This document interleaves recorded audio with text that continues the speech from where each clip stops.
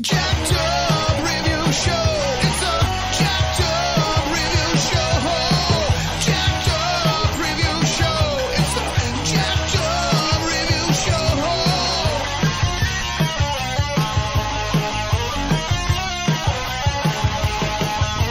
us as we cover many an insane movie and numerous cult TV phenomenons. Are you ready to get jacked up? Are you with us? Then listen on.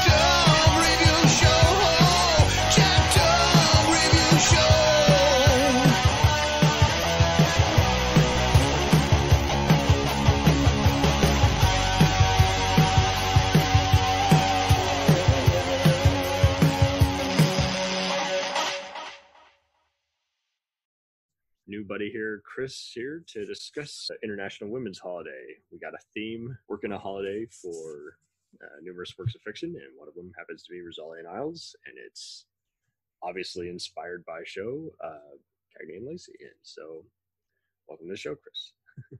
Thank you. Were you always kind of a big TV person before serving in the military? And I kind of always liked the shows, especially those that had to deal with women and what their professions were, because we didn't have a lot of that. You know, growing up, there wasn't, even in the military, I couldn't do some jobs early on because I was a woman.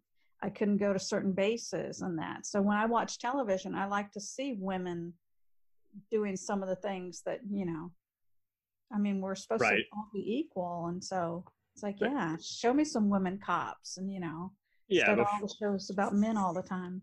Well, and before we got so heavily involved with politics and other bullshit, and it's just like it, really was hard to kind of find something where it's like, okay, the woman. Well, name me a show where the woman isn't the damsel in distress, or you know, just the beautiful person, you know, can and um, it's same thing with you know finding other minorities, you know, well represented. It's like can we find one where they're not playing a thug this week, and can they play Right. a doctor? And it seemed like everything pretty much had to be kind of plot devices versus it could be a naturally well told fun story and uh, i take it uh, with rizzoli and i was like I, I guess you were already kind of a fan of both leads um, had angie harmon from law and order and it had sasha alexander from ncis Correct. Okay, so neat. You know, I mean, and I guess you could say both shows are a perfect example of if you've already, you know, done a very winning persona, you don't really have to worry about stretching it. It'll just come naturally. You know, it's like, okay, so I'm going from one authority figure role to the next, but Mhm. that's fine. People like that, you know. Well, it's yeah. just like with Angie Harmon. I mean, she she did the NCIS. I mean, the she didn't do NCIS. that's all good. Law and Order. she, she did Law and Order, but then she also did the Baywatch, yeah, where she played a way cop. back when. and then with the Cody Banks and that. And she's always kind of been kind of authoritative kind of person in in those roles. I'm sure she had a good agent too. I think she just said right up front. It's like, okay, I'm not going to do these kinds of roles. Not going to do, you know, cute girlfriend. It's like, I got to be Right. some every day kind of cool idealist, you know. And uh, it is kind of fun just always seeing her in interviews because she would always just do the various, um, uh, just other personas where she would kind of just have a little bit of utter dry humor or deliver a big winning speech. So it's like, okay, pretty cool. Well, just like her role in the Women's Murder Club. I mean, playing Inspector Boxer. It's like that's kind of like uh, Jane Rizzoli. It's just the other was in San Francisco and this is in Boston. She's friends with the medical examiner in both, and it's like, wow, okay. And her Right, right. personality is basically the same in both. I mean, Well, she has a partner, you know, that's been married and divorced three times in both, and there's just a lot of similarities. So right? um, and it is interesting how a show was on quite a lot for the 2010s, and I was in college, so I would only see parts of it. And ironically, the first episode I saw was like the season one cliffhanger where she gets injured by like one of the crooked cops in the shootout. I'm like, jeez, spoiler. so I'm so glad I went through it. Hulu still has it on streaming, and Start TV air, and Lifetime will air reruns. So it's like, okay, perfect. so it's it's going to keep finding an audience. People are going to find it one way or the other, whether Oh, they casual. will, yeah. Especially, I mean, it's on HBO Max now, where Rizzoli and Isles is, and it's Oh, like, nice. You have different generation. My 10 year old great nieces watch it with me every time they come over my house. Can we watch Rizzoli and Isles? And I have to leave it right where they were because they know it's like, Aunt Chris, we're on season three. It's like, okay, I've moved on. They're like, you watched it without us? It's like, yeah, I've watched it like 10 times already. know. Oh, it is kind of getting funny in the world of streaming how it's like everyone's prepared to watch whatever show that they're approved to watch and, and you just come to whatever area that you want in the show. And like just say it's easy to again just kind of say well i want some time to kill you know? And so i i, want to watch this episode or now i've seen it to you guys go on it w- without me. We've had to i myself have had to do chats like that. It's like well you guys weren't in a mood to watch TV that night, and I wanted to watch it. So, or you, or you want to pick me up episode and there's some really good episodes where the interaction between the two main characters just has you feeling really good about things and it's like so you know you can go to your history and it's like okay let me go to season three episode this and let me watch that because i want to feel good and it's and I not easy, remember. And it's so visual to where it's like, yeah, no, you just got to see it. It's not easy to describe.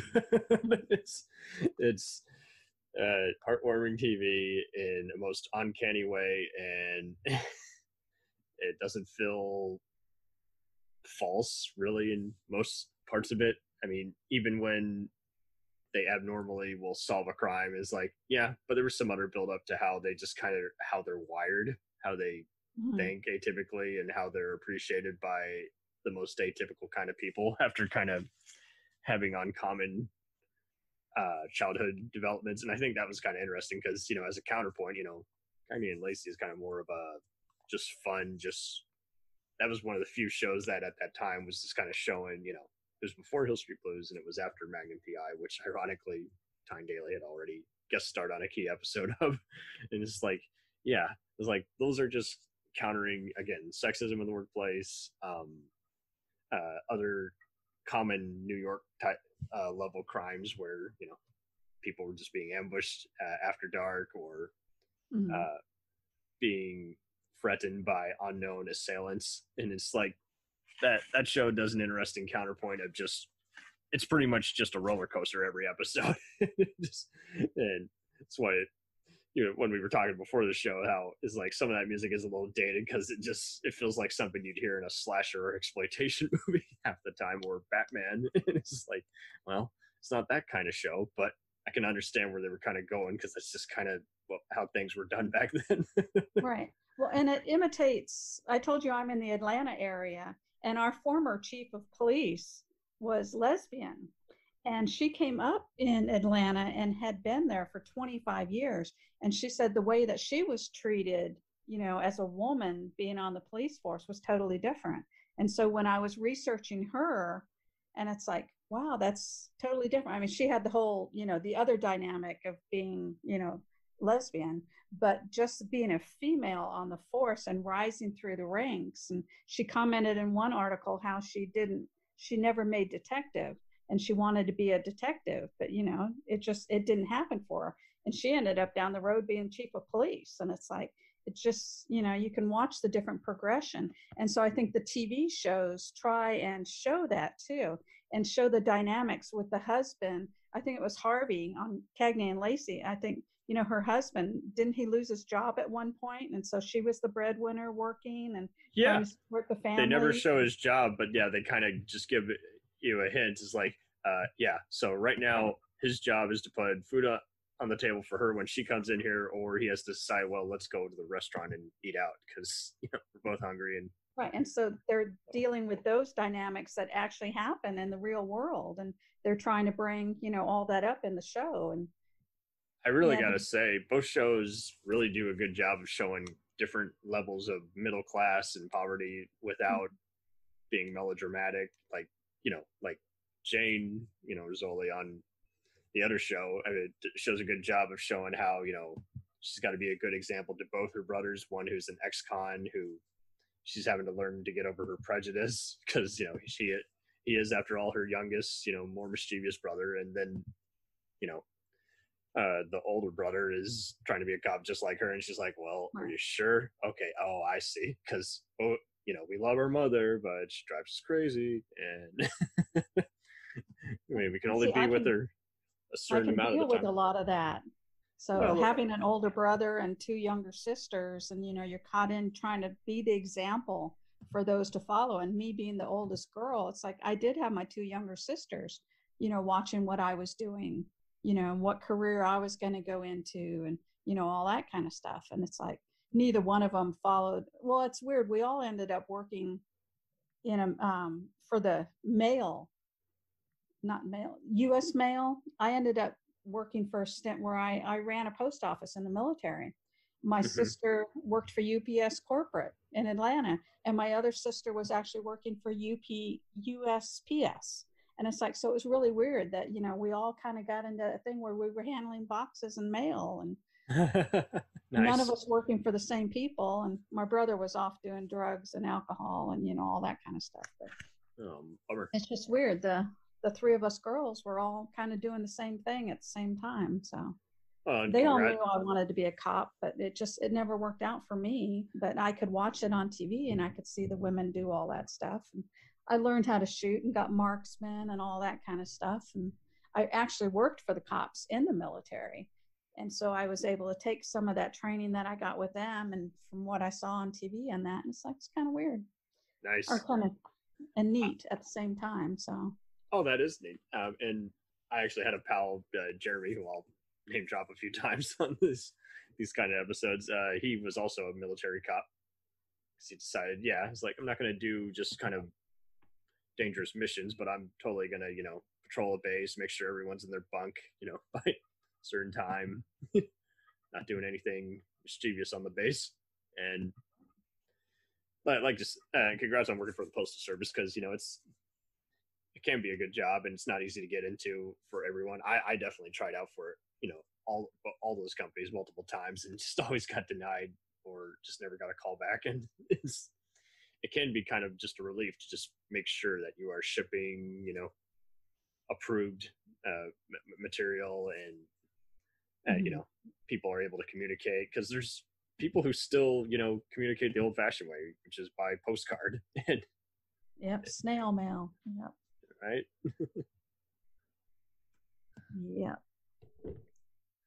Uh, but yeah, very, very true. I mean, it just kind of just sh- they both just show you all that family dynamic. How it's like, I mean, in season one of Cagney, they show how it's like she and Lacey are just both respect each other, but also need some time away from each other. And it's like, well, I can't bring all that stress home that you emote. You know, I got I got to vent. I need some normalcy first. You kind of don't know how to channel it, so you just kind of have it at all times. So come come back to me when uh, you know.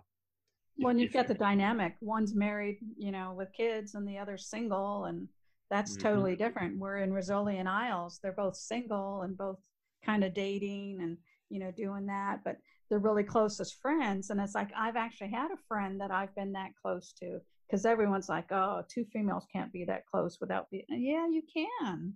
Uh, yeah, and th- if anything, these shows do a good job of just kind of punching through just the stereotypes and bullshit that, you know, uh, like uh, they even, you know, when they come across even someone who's basically, you know, a rape victim or being stalked, they'll, you know, you know, they'll always shout down someone who's like, "Oh, they're asking for it. They're a beautiful person." I'm like, "You, you guys, where you pricks come from? That's not true at all." Yeah. You know? Totally a Oh. stereotype. Yeah, the they will always correct someone in the hallway without trying to force a belief on them and just say, okay, you know, well, what if that was your sister you said that about? What if that was your girlfriend, you know, your fiance you were saying that about? Would you say that then? No. Okay. Well, look in the mirror sometime, idiot.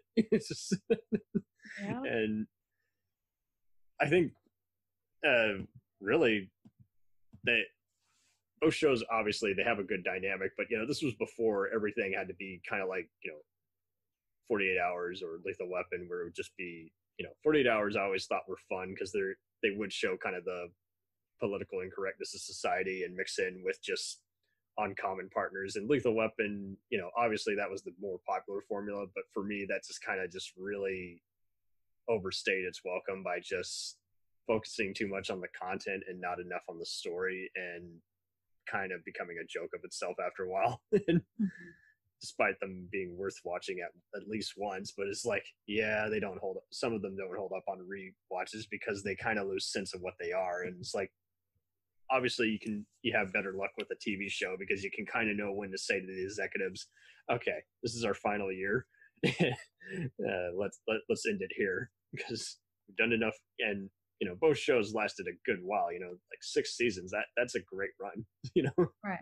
Yeah, And- six I think on Cagney and Lacey, and seven on Rizzoli and Isles. So okay my bad But- yeah i watched yeah, it all together Rizzoli and Isles could have kept going. I mean, they could have done so much more with that. But they could have done yeah i mean everything at least deserves a 10 year thing but then there are other ones where it's like yeah no this is only good for three or four years but fortunately they had a lot to work with and it worked for cagney because i mean it was they were such short seasons just constantly not sure if they'd be renewed or not having to fight with Right. executives and the other show was just always a summer show on tnt and it worked well because i would see it by producer my parts of it after Michael M. Robbins, the producers, uh, other shows, you know, the closer major crimes, which had a similar kind of appeal. And I don't know if you've seen those. yes, I have. Oh, okay. You know, it's like, uh, and while,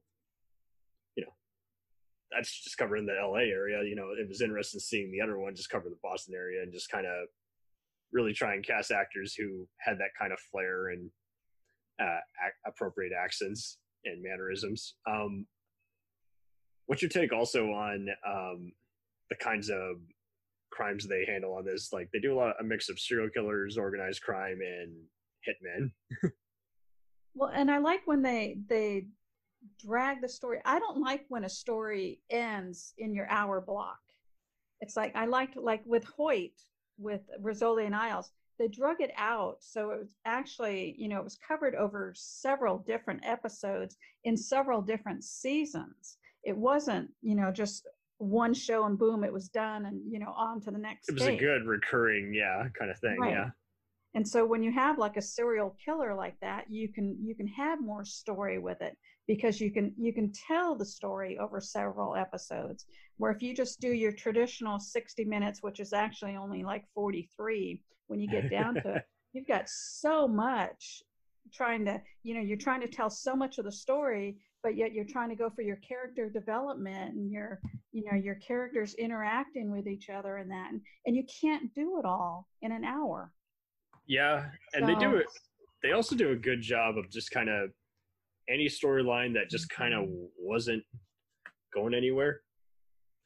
Uh, you know, they they kind of write it out right away. Like, Right. you don't know if Jane's, you know, any of her dates were gonna go anywhere. So the show does a good job of kind of experimenting and then just one and done. Okay, so by this hour, this date didn't work out, or it was just a fun, awkward moment. And really, the only subplot that didn't work for me was that one serial killer who was played by Eddie Cibrian of Third Watch fame. Is like then they find he appear, reappears like three episodes later, and it turns out he's a serial killer who kidnapped her. And it's like, thank God you guys ended it there. That would have gotten too me- messy. Yeah. Sorry, go ahead. I didn't mean to keep talking. No, no, no. That's fine. It's I forgot what I was going to say. My cat jumped up in my lap, so to okay. move the computer. She likes when I'm on uh, calls to come and say hey. nice. But no, But I yeah. think with Jane and dating, it's like they really. I mean, people hated Casey. You know, and with him going away, you know, in the military and all, some of that to me just wasn't realistic. That, you know, I don't know when he proposed and all that. That kind of pissed me off. That was kind of where it was to getting. and then gonna take off and leave and I'll agree with you. That got a little too soap opery. Is like, okay, you guys can do way better than that, as opposed to stoop to that level. You know, it's like, and I mean, I like that actor. He's been good at playing a bad guy in plenty of other movies and shows. But it's like, yeah, I feel like you guys go could kind of wrap this up. Well, and I told my mom, it's like, okay, so he's home on leave in the military. Why has he got his uniform on? I mean, if and maybe it's because of me being, you know, military background and all. But when you get home from work, you take your uniform off. If you're on vacation, do you even have your uniform with you? You know what Yeah. I mean?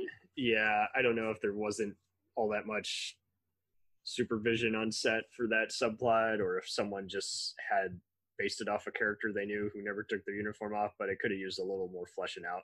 Um, and like you say, I mean, it's like they kind of imply that Casey's loyal to the job, and yet at the same time, you know, wants a real life, and yet at the same time, I don't know if they were just trying to work around the actor's schedule because he was working on so many other things at the same time, but it, it did get old really fast. It's like, eh, okay, you're going for the cliche, will they or won't they? I wish you guys would just, you know, decide and just let this soak in a bit so we can soak it up instead of, well, and the backstory that they went to school together.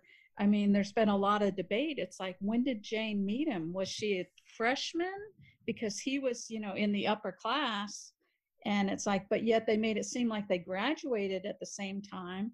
But then when you look at the reference, he's the big man on campus. Well, you can both be seniors and he can be the big man on campus because, you know, he's on the football team and, you know, all that. where where she's just kind of shy and you know off to the side so it they just there was a lot of uh uncertainty in in the backstory so yeah, I, I gotta hand it because the show does so many things right, but like especially with Jane's younger brother, I mean, subplots. I mean, those were well handled i because they thought so yeah Yeah. tommy was a good character right Mm-hmm. and just showing you as like hey want to want to do good i just wasn't as fortunate or you know uh, everyone and frankie would Yeah. follow in his older sister's footsteps you know because younger siblings do that they follow the older sibling around and want to do what they're doing and yeah and they it knows also how to just kind of play out just the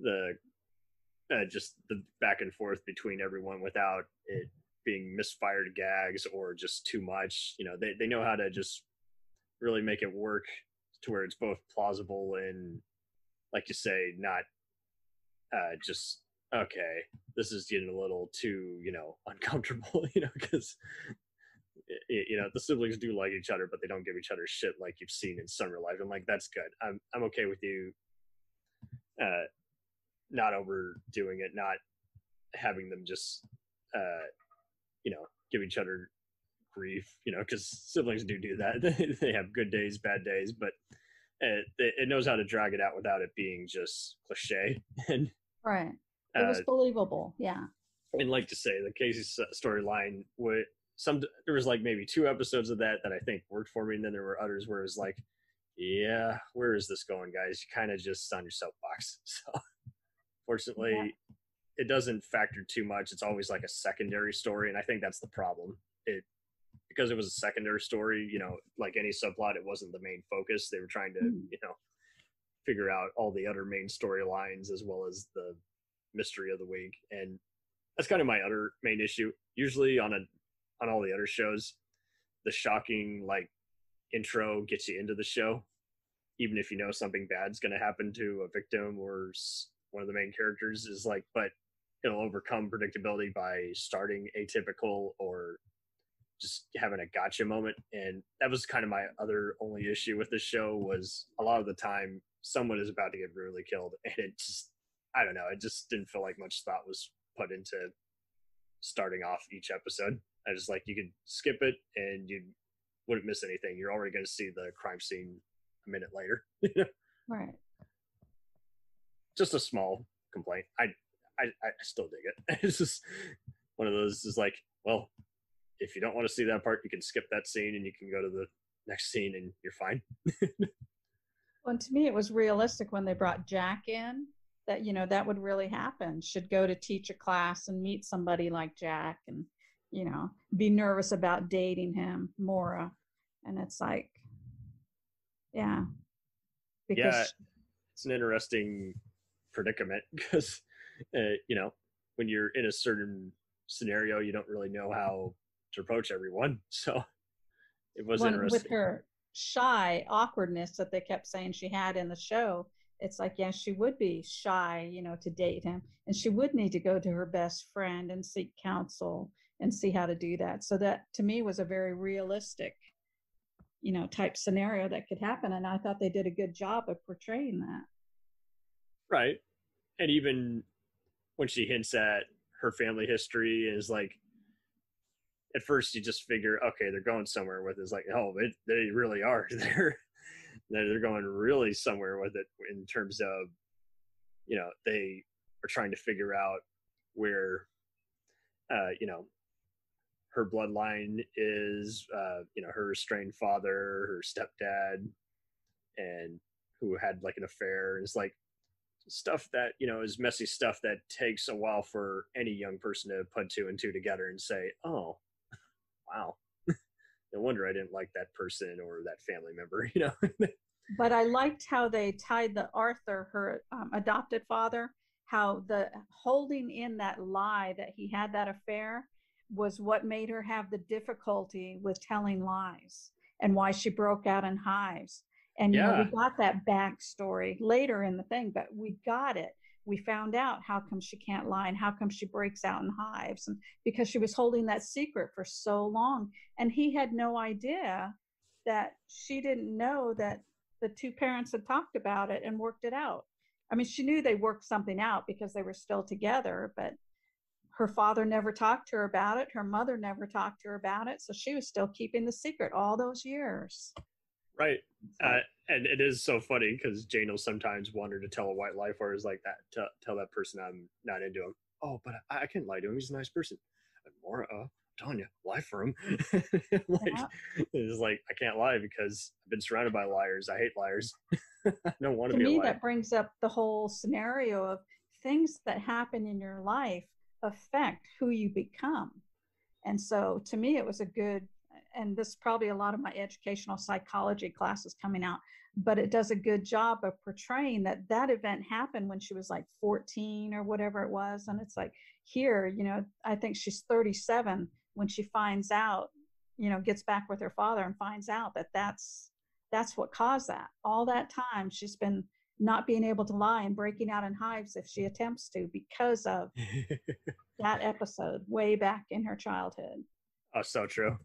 And I know they were based on books. I never read them, but I know the author was heavily involved. I know Janet Tamaro was like one of the main showrunners and, um, you know, had previously written for Bones and Sleeper Cell and those, and even SVU. And it's like, that's a good start. Those are all very similar in terms of, and always have psychological elements. And it was interesting too, because I think she later ended up did I see that right? No, never mind. Uh, uh, she won a Gracie Allen Award for the Alliance of Women in Media Foundation. Is like, well, it's Hmm. pretty well deserved because, yeah, it's a very, like you say, the show feels like people who are big psychological psychology majors as opposed to, you know, I'm just imitating stuff I've seen on small screen and just doing more of the same. You know, it's like Mhm. whether researched or not. It's like no, no, none of that is repeat of everything you've seen before because it really does stand out. I also have not read the books. They're sitting on my bookshelf and I can see them right now. But after hearing people say so much about how different the TV characters are from the books, and you know how lovable Maura is on the show, but she's not like that in the books. I don't know if I want to read the books You're right. because I like the TV version of Jane and Maura. I like their personalities. And Jane's got that badass detective side, but she's also got that very loving, caring side that she'll do anything for Maura.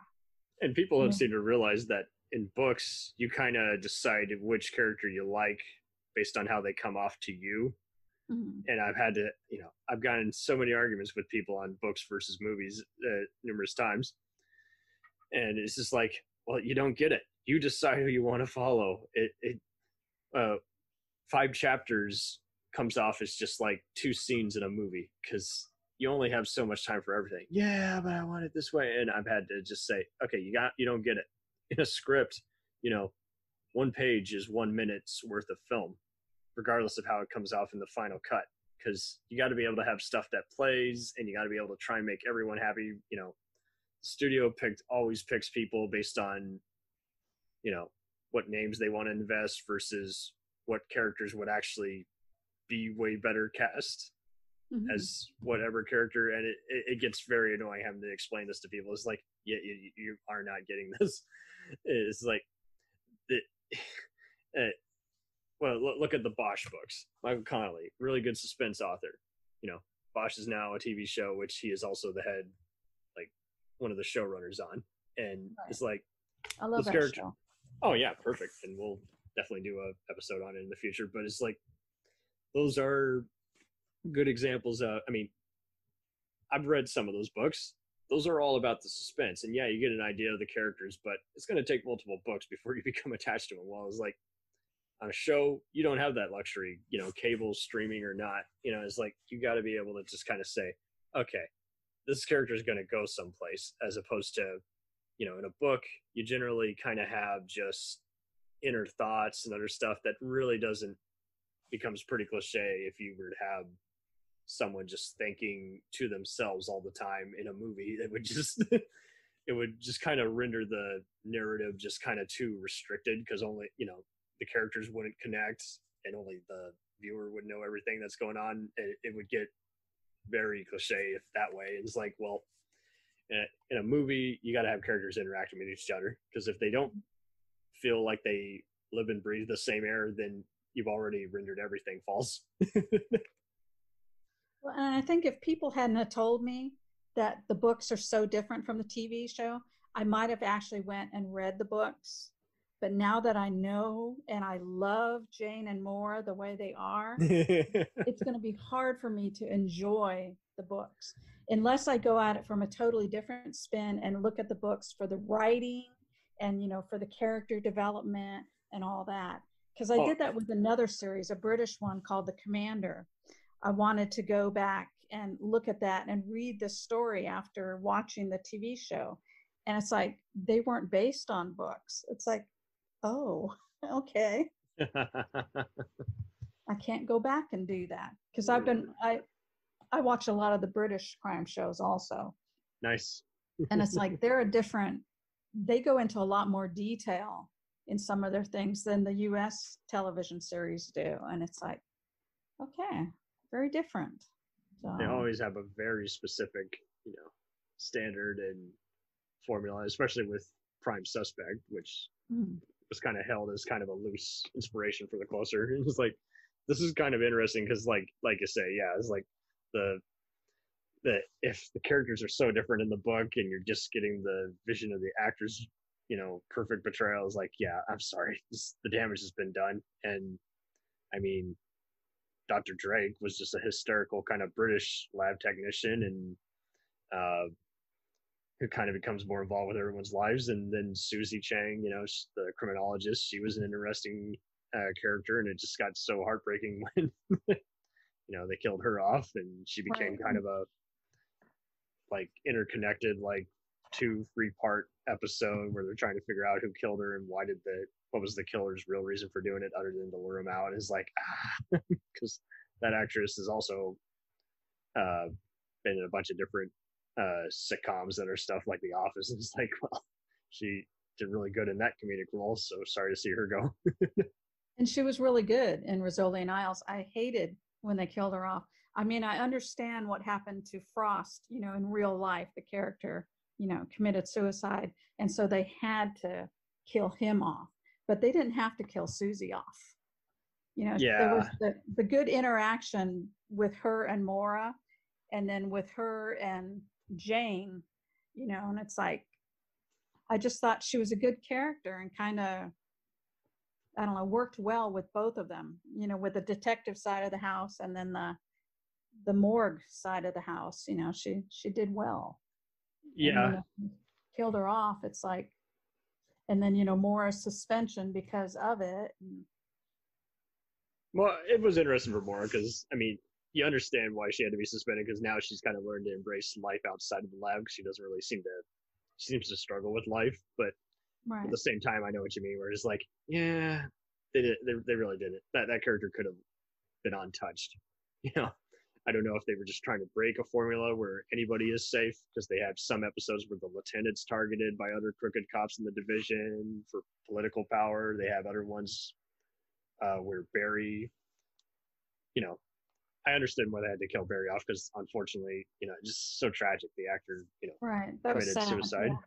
yeah. and they do a good job of the episode is like wow i haven't seen him for a while oh well he's been killed in the line of duty and you know they come to the crime scene but it's like man you know it's just, that had to be awful to have to insert that and change rework everything around Well, and when they talked to Angie Harmon and Sasha Alexander about that, they said that the um, the executive producers in that gave them a lot of leeway in how they wanted to deal with it, as far as for us, the viewers, you know, and how they wanted to deal with the funeral and all that. And I thought that was pretty good because you are in a you're a tight knit family when you're filming something like that. I mean, you're working with those people, you know, for 12 to 16 hours a day you know, Mhm. multiple days in a row. They are your family. You're seeing them more than you're seeing your actual family, if you're even seeing your family. Because I know Angie Harmon said she didn't see her family sometimes during filming.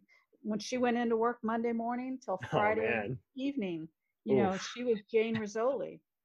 She wasn't Angie Harmon. So, and it's like, so that would be hard to have to deal with something like that. And yeah and i mean especially when some of the castmates want to hang out after the fact you know on their days off it's like oh but my pals who i only see on set i can't see them anymore. It's like yeah it's uh, I, I can only see them now on screen or just remember the good times and it's just terrible because very talented actor you know who you know was kind of left the disney and nickelodeon scene and, and you know people started seeing him do other recurring dramatic roles like friday night lights and you're like well he can really act really well and it's like and it, it just was another one of those where it's just like his bipolar disorder just uh, it's like he wasn't taking the right medication or something and it's like man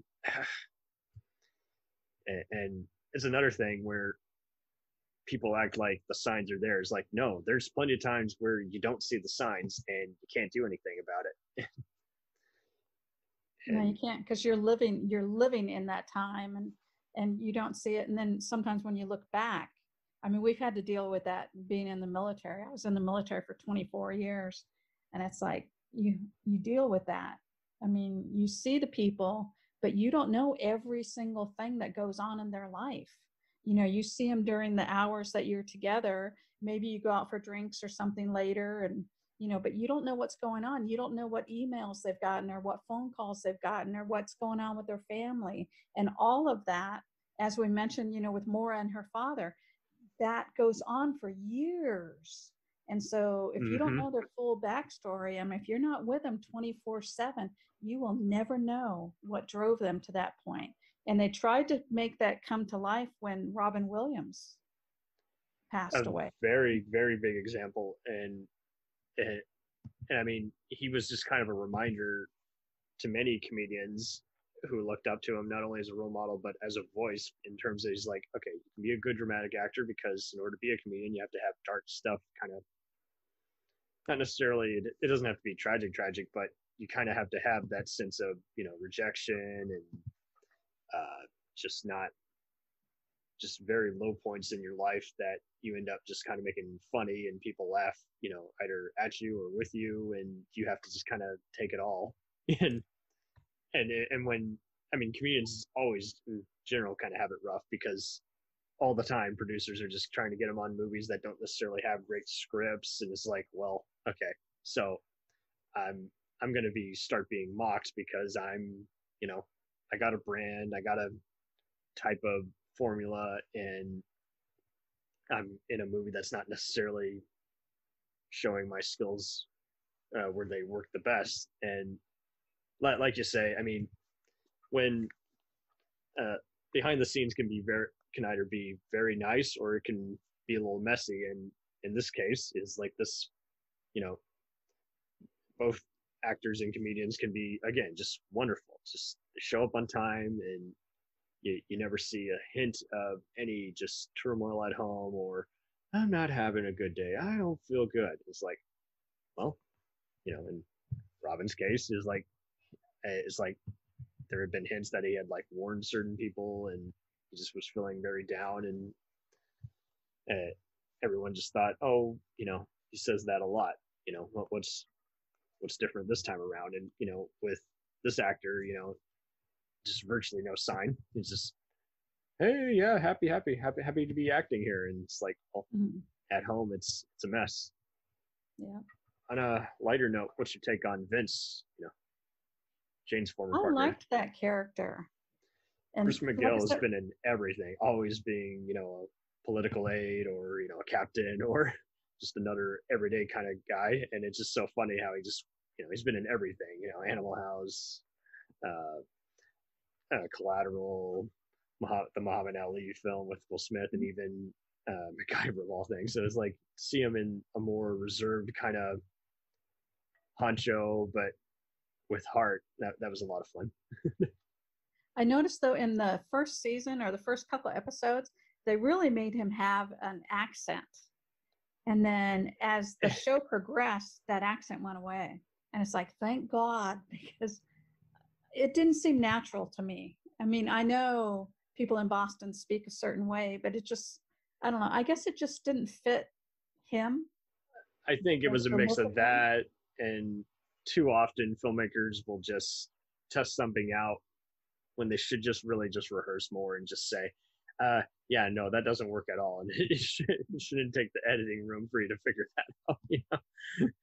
and I thought he was a good role model. I mean, I'll go back to Lindsay Boxer in the Women's Murder Club. You know, her partner Jacobi, I said, was married three times.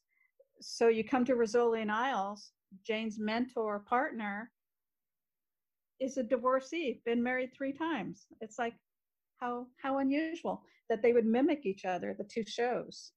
And it's like, I mean, you wonder sometimes of the writers if they are using those other shows. You know, in the second episode of Murder or the Woman's Murder Club, Boxer makes a comment that has to do with the TV show Prime Suspect. Okay. Interesting. yeah, everyone has their inspiration, and that's the one. But yeah, I do kind of like that kind of paying tribute, you know, Right. in, And they talk about um, flirting with someone over a dead body in Rizzoli and Isles. You go back to episode four on the Women's Murder Club, and Boxer is saying the same thing. A guy comes in and asks her to go out for coffee, and she's like, "What? Are you seriously flirting and asking me out at a murder scene?" And it's like, so to me, that was just comical. It's like because I remember those comments, and it's like, wow. they really do stand out to you because it's like, yeah, someone Well, had and some it's really. Angie Harmon both times. It's not like it's her. Other, it's it's actually her in her role saying it both times in both shows, and it's like, okay. So they do look at the other shows, and the other, you know, the older shows do, I think, um, tend to lead into the newer shows. So I think they do use them as a source of reference. You know, what worked, what didn't work, and you know, and that's why the dynamic of the two women together worked for Cagney and Lacey. Oh, you know, just like you had the male version, Starsky and Hutch. You know, you had Cagney and Lacey, and then later you're going to have, you know, Rizzoli and Isles. And granted, she's not a cop; she's a medical examiner, but still, they're working together and solving the crimes and increasing the the closure rates, you know, and stuff like that. Because Right. it, it is a team, and I found that even in the military, you know, you have your your core group of people that work well together as a team. Well, I mean, that was kind of that, that goes pretty much with anything like because like you say i mean the actor like Bryan Cranston is kind of doing just kind of counter roles that kind of complement his Breaking Bad and Malcolm in the Middle role. You know, just playing a different kind of concerned dad or person breaking the rules, and and, and I mean, you even get that with SVU, where I mean, the people casted were kind of contrary to their you know public image that they were known for, like you know Ice T playing you know contra- controversial rapper and actor, you know, who becomes a guy who plays a cop on TV, and same thing with comedian Richard Belzer. You know, he's you know known for being the smartass who gets into trouble, and here he is playing you know Mr. Reserved, you know, cynical cop. it's like, yeah, it's like that's pretty much it. Is like everyone has to kind of play a role that's kind of complementing their real life uh, persona, as well as like you say, the role that they've already made immortal on TV is like, well, what's a ironic version of that role that I can play? What's a uh, enhancement of that role that I can play? Better yet, what's the opposite of that? You know, can this time can I play the bad guy or the version of that character who just goes off the rails evil? Well, and they say Angie Harmon is quite the comedian too, and you know brings a lot of laughter and that into her things. And I wonder how much of Rizzoli and Isles was actually Angie and Sasha. You know the the camaraderie that they had, you know the friendship that they had off the screen. How much of that was brought into the show, and they just let it ride. You know, like the friendly touching and all that. I mean, was that actually written in? or was that just you know um, sasha was going to walk behind angie so she put her hand on her shoulder and you know J- um, angie reached up and you know put her hand on top of her hand and they smiled at each other as sasha walked behind her. It's like was that written in or was that just the two of them you know just being friends and acknowledging each other? I unless you get the actual script which yeah i can't for the life of me find anything on the behind the scenes how stuff was filmed. There's so much fanfare and you you would pretty much if they did a convention which i'm sure they would i mean they've done i mean angie since then has done some animation voiceovers and i'm sure sasha you know might do a comic con convention for whatever show she's doing next but yeah it's like you would pretty much if you got a chance to do a q&a you would totally want to ask them it's like hey you know how much of that you know when the characters kind of evolved over time from the scripts versus you know you got into character and you just ended up adding this extra you know enhancement to the role or uh, I don't know if you've read the scripts or if you just, you know, just watch them, but I actually have some of the scripts and I have the very first, the pilot episode, and it is totally different than what aired. oh I mean, you in find the pilot episode, they have a, Jane has an older brother named Mikey. were, were those on ebay or something Yeah. oh nice And okay it's like, you know, instead of having the younger brother, Tommy, it's, he's an older brother, Mike. And it's like, oh, well, I'm so glad they didn't go with that. And they made Jane, you know, she was 30 and they made Maura in her late 30s. Well, you know, that would put them seven to nine years older than each other. Mhm. Where in the show now, or well, the show, they made them where they're similar in age. they probably didn't want to restrict you know how uh the age range let alone just any other have to keep track of any additional details so there's like okay they're within similar age to each other that's why Mhm. Maura gets along with Jane's mom and Jane does not get along with her mom and this becomes awkward and they reconcile over time and Maura is essentially the communicator for both of them Right. Because she has that. I mean, Jane's got that caring side, but Maura, in relation to the other Rizzolis, kind of is like the buffer between Jane and her family and just kind of, you know, calms Jane down and, you know, does all Right. that. So, Absolutely. I mean, it is also kind of just annoying how scripts are, you know, when I was doing a script writing workshop, I was always told, it's like, okay, and by the way, all the descriptions and everything, those last just one, barely a sentence. You know, it's just that that all comes visually later with how people want to rehearse the scenes or what notes you pass on, you know, down to the filmmakers to translate onto the film. And it's like, yeah, but you know, some of that stuff can just make or break, you know, a show, let alone a movie. It's be good to have a little extra detail and just, just so that the writers have a voice versus just becoming, I mean, they have it good nowadays with you know post internet when some especially some sci-fi tv writers started uh communicating with their fans i mean now everyone can answer anything you know on twitter it was Mhm. fortunately around that time when that was becoming a thing it's like yeah that that is, that is something because it used to be you would just get complained about and you never had the writer never had a voice they couldn't address problems or in interviews unless they were invited to like a tv guide get together you know Well, and it's nice to have the feedback. I know writing myself, someone told me it's like, well, your last chapter didn't have as much detail in it. It's like, oh, okay. So I went back and I read the last chapter and it's like, they're right. I just, I got into like, uh, you know, what they were saying, but not the background of what was going on. And it's like, I need to pay a little more attention to that. I need to put myself back as the, the reader instead of the writer and look at how it's being displayed or portrayed. exactly uh, absolutely because uh, it, it it's uh, it also just makes you wonder how many other shows that kind of started out great and went downhill could have been saved by you know someone uh, you know texting on the screen and someone seeing that tweet and saying oh no we screwed out. We better we better uh, kill that storyline. We better rework Well, and that's that. why, I mean, we went, my, my guard unit, when I was in South Carolina, my supervisor was actually the military um, counterpart or whatever for Army Wife, the show. nice great show and similar. And it's like wow it's like i'd like to go to charleston and you know watch them film that. And he's like i was a little overweight at the time. I had broke my foot and put on like 75 pounds. Oh dear. goes you know he made a very sexist comment that if i was more within my weight standards he could have put me in as an extra what a prick and i looked at him and i just kind of took it with a grain of salt and said yeah i do have a weight problem right now even but then I thought also it's like there are people on active duty that do have weight problems. Yeah, you I've seen so- plenty of generals with a certain weight issue, let alone.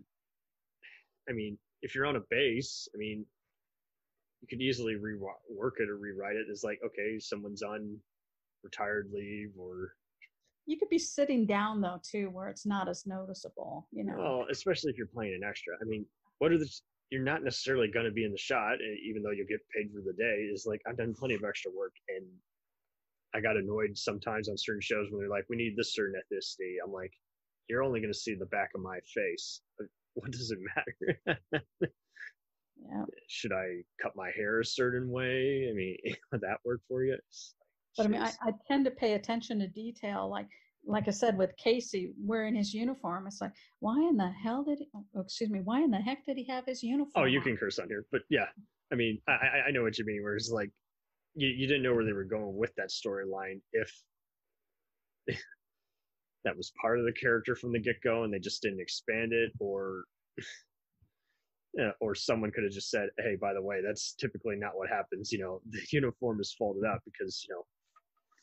You, he is military. You do have a certain modus operandi. You know, you. Well, I mean, there's very strict rules. I mean, it used to be, you know, you go to a fast food place and it's like you don't sit there in your battle dress uniform and eat. You get your food to go. Now it's, you know, more laid back. But when I was in, it's like you didn't think about sitting down and eating when you're in that uniform. It's like you had to be in your dress uniform right. in order ki- to sit down and eat because the whole public persona of you.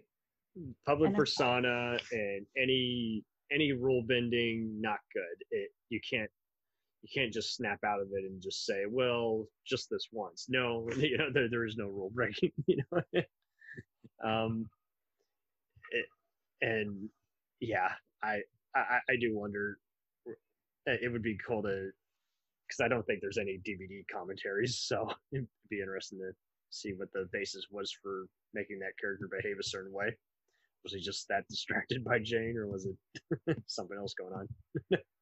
Well, like I said, the, the uniform, it's like very few times did they have him in civilian attire. And it's like, no, he should have been in civilian attire almost the entire, every time they saw him, except she did go to the VA center or to the, you know, when he was um, when he had his crutches and he couldn't walk and he was at work so he should be in his uniform then. But some of the other parts it's like no. He was on leave. You don't go on in your uniform on leave. Granted sometimes you do have to travel from your destination to your leave point in uniform if you're traveling on a military aircraft and that because i know i've done that when i was stationed in germany and i came home and i had to stay in uniform the whole time because i was traveling on a military aircraft I was like, okay, that's different. But once I got to my destination, the uniform went off.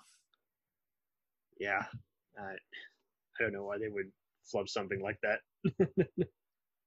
because probably they didn't have a military person looking over that part because it was such a small part of the show. It was. It's just you like to think that someone somewhere could at least, you know, just like have a uh, just a you know relative who has that basis and they could at least run it by them and say, is that realistic? Instead of just, well, it is all just TV. I'm like, yeah, but people stop watching some shows if some stuff just takes it out them out of the whole fictional storyline they've created.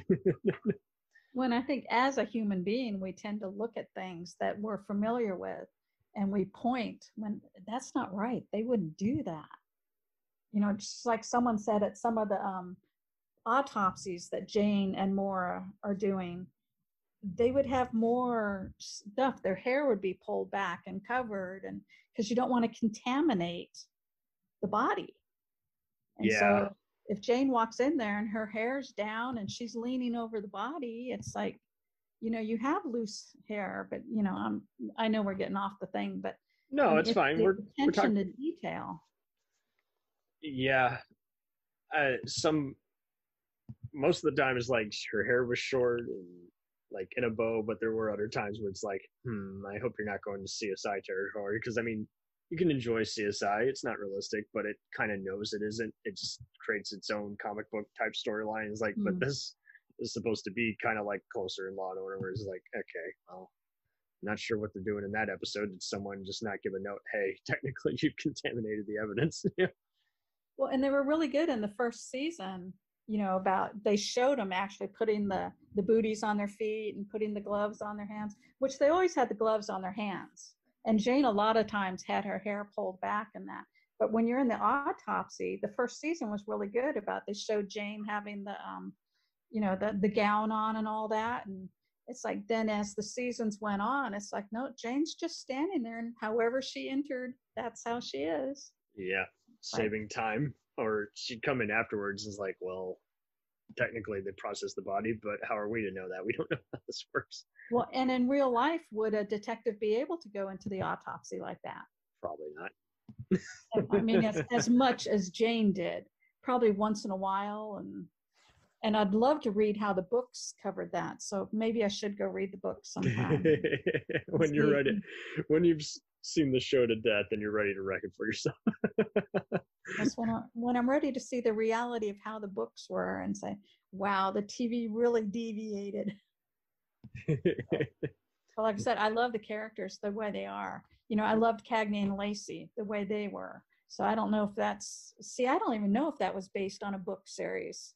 not to my knowledge, but I mean, they they definitely did a good job of just kind of just again just making letting the leaving the show alone and letting it just process itself so naturally. And same thing here, you never heard any behind the scenes story. Michael and Robbins was pretty much the producer was allowed to pretty much run whatever show he wanted at TNT, and he gave Janet Tamaro, you know, full power. This was her first time, you know, being a showrunner of a show after being just you know, a co-writer on other stuff like Bones. And I think Bones was just a good jumping point for her, just in that, you know, she's like, she knew how to blend mystery with comedy. Yeah. um, I think I'm on the third season in Bones, so I'm not a I'm not a Bones expert, but I do like the show. oh yeah, I've seen it all throughout the years and I've been slowly going through it from the get go myself. And like, like you state, um, I mean, definitely in the first season, uh, uh, of uh, Rizzoli and Isles, you even got a gist that kind of like the Criminal Minds cast that they at least had some supervisor showing them how to hold the guns and literally be strategic, especially with the multiple kidnappings they diffuse, and especially when you know the crooked cops and thugs get out at the uh, jail cell, of the precinct in the first season. You know, on that cliffhanger, it's like they did a good job of just kind of showcasing there how it's like okay, uh, uh, the gu- the gunplay sounds at least almost as realistic as movies like Heat. So.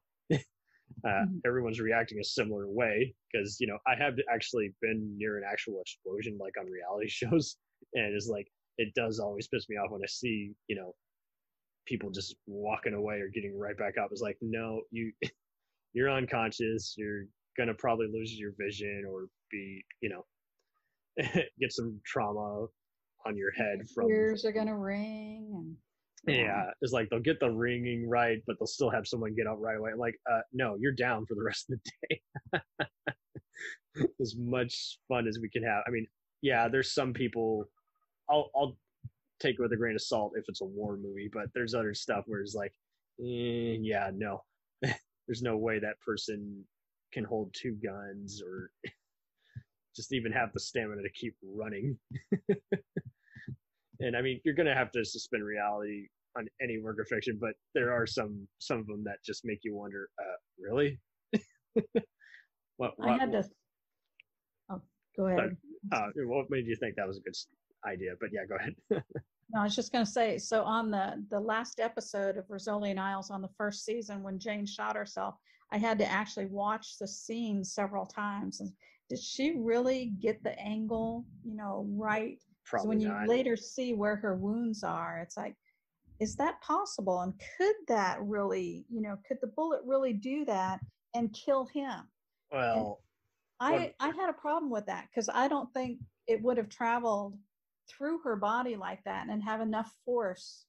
yeah, they they never seem to get bullets and using people as human shields right on shows like that. And that one, not only does that technically not work, I don't think, but um, it's kind of ruined because they play around in the editing room and make it be in slow motion, so it looks even less convincing in terms of the details. So it's like, Mm. yeah, I understand where you guys were going with the storyline, but I'm sure someone didn't get the continuity right or that it just couldn't work to begin with. So suspend reality on that one.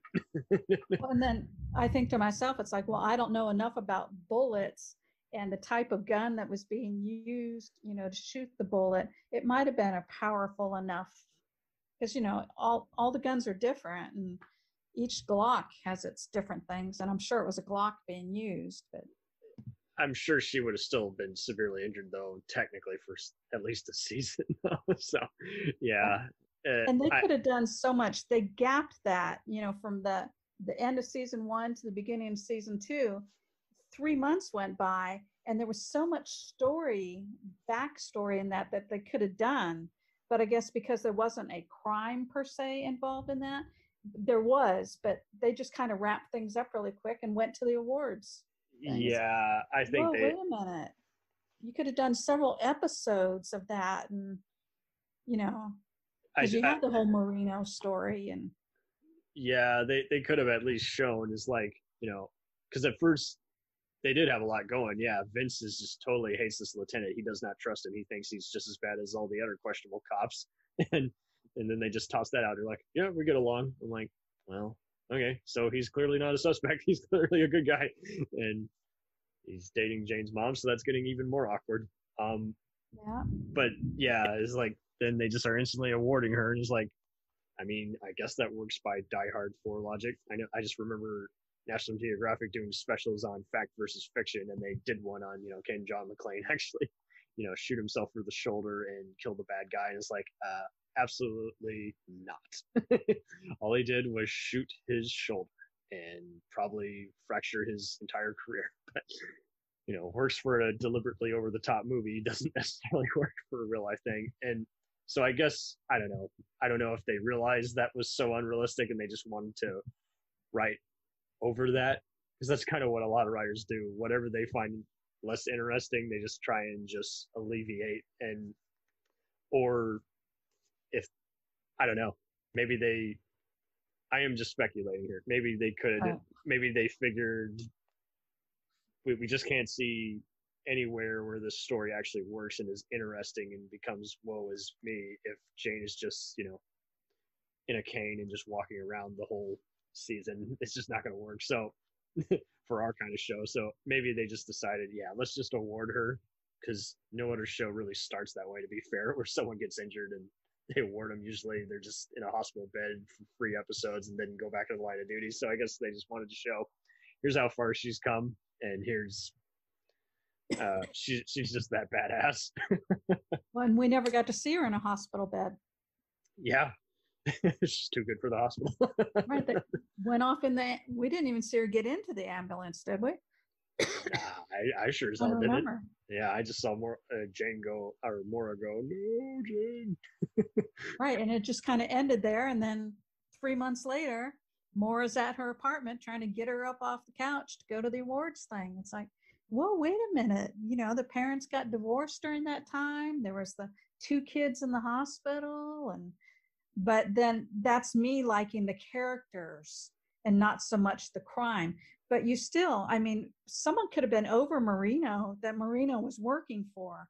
So they could have drugged that story out a couple more episodes and, you know, gave us some of that Jane being in the hospital and having to have multiple surgeries and, you know, what happened with Frankie and Yeah, uh, all the stuff that does happen, like when they're going with Maura's adopted mom, you know, played by Jacqueline Bisset, and even Dean, the FBI agent who's dates Jane, and then they just kind of don't had that storyline out. I mean, it seems like everything they just tested, and if they got enough of a reaction, they revisited it. And it's like it seemed like the one that was getting the most reaction was Paddy, you know, her hitman father. yep, Which she tries- yeah, and the mom uh, played excellently by Sharon Lawrence. That that storyline was really rewarding. Uh, what's your take on the stalker Alice Sands role, where she was like a police academy dropout and had been a high school pal, and she just kind of had always been unstable and just kind of wanted to be like Jane, just basically. Now I like that because that story actually did drag out over episodes. Just like the Hoyt serial killer, he was like Right. he was already played excellently by Michael Massee, and here she, uh, Sands was played by Annabeth Gish of West Wing and X Files fame. is like, yeah, I totally buy that persona because she can play those kinds of characters and seem normal but are anything but. But I mean, I thought they did a pretty good job of that. I mean, was the storyline realistic? Well, maybe not so much. Some of it, yes, and some of it, no. But she could, I guess, have those underground connections, you know, with all the the people that lived in the sewers and that, and you know, they could have all that mapped out. But would she have that if she was working in Canada, or was she working in Canada? You know, it's just there was a lot of unanswered questions yeah, storyline that had we known more details i mean where had she been all that time yes she had these businesses but she wasn't living in the underground you know all that time so would she have formed those relationships yeah. have all those kids following her like that a little backstory would have been better on that. Um, I mean, the crime ring is definitely what makes it stand out. And like you say, I mean, it would have, it could have, it, it definitely took a while, and it did make you wonder: has she been doing this ever since she's dropped out of the academy, or are they just a plot hole there, and they're just paying too much detail to who killed who and who kidnapped who? um, Right. I will admit, I do think Jane. I mean, the show leaves you wondering if she, you know, killed just in line of duty or act of vengeance. But uh, me and my mother did have a problem with that. How you know she's holding him, you know, uh, you know the teenager hostage, and you know Jane just finally just bursts in, just puts her total career on the line. It's like, yeah, I think realistically, they would have kidnapped her and or they they would have arrested her and she would have probably gone away or something because of lack of evidence or just given how real life justice works. It's just I I don't think she would have just gone in guns blazing. It works for a show, but then you kind of got to have some kind of review, like, hey, you're you're on temporary, you know, paid leave or something mm. like that. Instead, they're just like, nope, killed her. She's a psycho. like, well, there's still a process to how this all works. If typically, if you're somehow related to someone eh, who's committing a crime, they typically don't let you get involved with the case. You know, so I felt like that was a little suspension of disbelief. Is like, okay, there is a mo- modus operandi to how law enforcement works, guys. I think realistically, Vince and Frankie would go in and and Sands would probably start, you know, d- given her stalker background, would have said, "Oh, I know you're related to Jay," you know, and try and take advantage of that. And then, you know, obviously they could go and blaze in with a SWAT team, but I don't think Jane would risk putting all that and be questioned later. But they don't even kind of talk about it afterwards. They're just like, "Yeah, she's dead." There's no investigation afterwards or talk Right. about it about how this messy affair even happened to begin with. It's like, well, you saved a teenager. That's good enough for us. I mean, Jane's character at that time was so traumatized by Alice Sands that she she shouldn't even have been on the case. No, they they, don't let any. eh, I mean, it doesn't take much for detectives to profile each other and say, uh, you know, no, don't take it personally. I just know you're related to this case, so you're off of it. which is what they did with Hoyt. You know, they took her off, and then Jane tried pleading with them, you know, to to let her do the Hoyt thing. And when we were talking about uh, um, Korsak earlier, I wanted to mention how it always came off that Jane was always in charge, even though Korsak was the sergeant and over her. It's like Jane always took the lead. And I know sometimes she might have been the lead detective on the case and that would be her role, but it seemed like she did it all the time. You know, well, let's do this. And, you know, yeah, and They they kind just ruled with it. And they kind of imply that is like he's kind of yeah, he's promoted to sergeant and then it became a lieutenant by season five. But yeah, it's like because he's technically the partner, he's like, well, I'm presiding, just don't. eh, I'll I'll let you carry it, just don't go out of bounds. but yeah, they kind of keep it brief at first because they're like, you didn't know if the writers needed to read up on police uh, ranks or what, but it's like, hey, it is what it is. yep, she was the lead detective. Boom. It's like, well, she wasn't the lead detective every single time. So it's like, I mean, if you want to get technical, I don't know if you've looked up the role of the chief medical examiner in the state of Massachusetts, but happen. I'm sure there's protocol to that too. It's like, yeah, isn't doesn't Maura have to have like some other person presiding over her? Like, aren't there supposed to be two medics in the room at once? Or well, she wouldn't have been doing everything that she's doing because the chief you go. medical examiner is the administrator. there you go. I mean, if you go back to Crossing Jordan, you know how, Mhm. um, Also in Boston. right, uh, which was kind of weird. That's also Boston. But she was the medical examiner, Jordan was, but she had a boss right there. So who was the boss? The boss was probably the chief medical examiner who had to do all the paperwork and do all the stuff. And that is Maura was the chief medical examiner. She wasn't simply the medical examiner. You know, you'd have the regional medical examiners throughout the state of Massachusetts, and they all report to the office of the chief medical examiner. So when you read, because I think I told you I do fan fiction writing, hmm and so when I get into my stories, it's like I research. It's like, okay, what is the role of the chief medical examiner? It's like, holy shit, they got that wrong, like by a lot. They should have just called her a medical examiner, you know, that she was assigned to that area and then she would be doing what she was doing. But as the chief medical examiner, I mean, I looked up the stats, I think it was for 2019, she only did 10 autopsies. Yeah, probably would have done more than that. And for like the you whole say, year.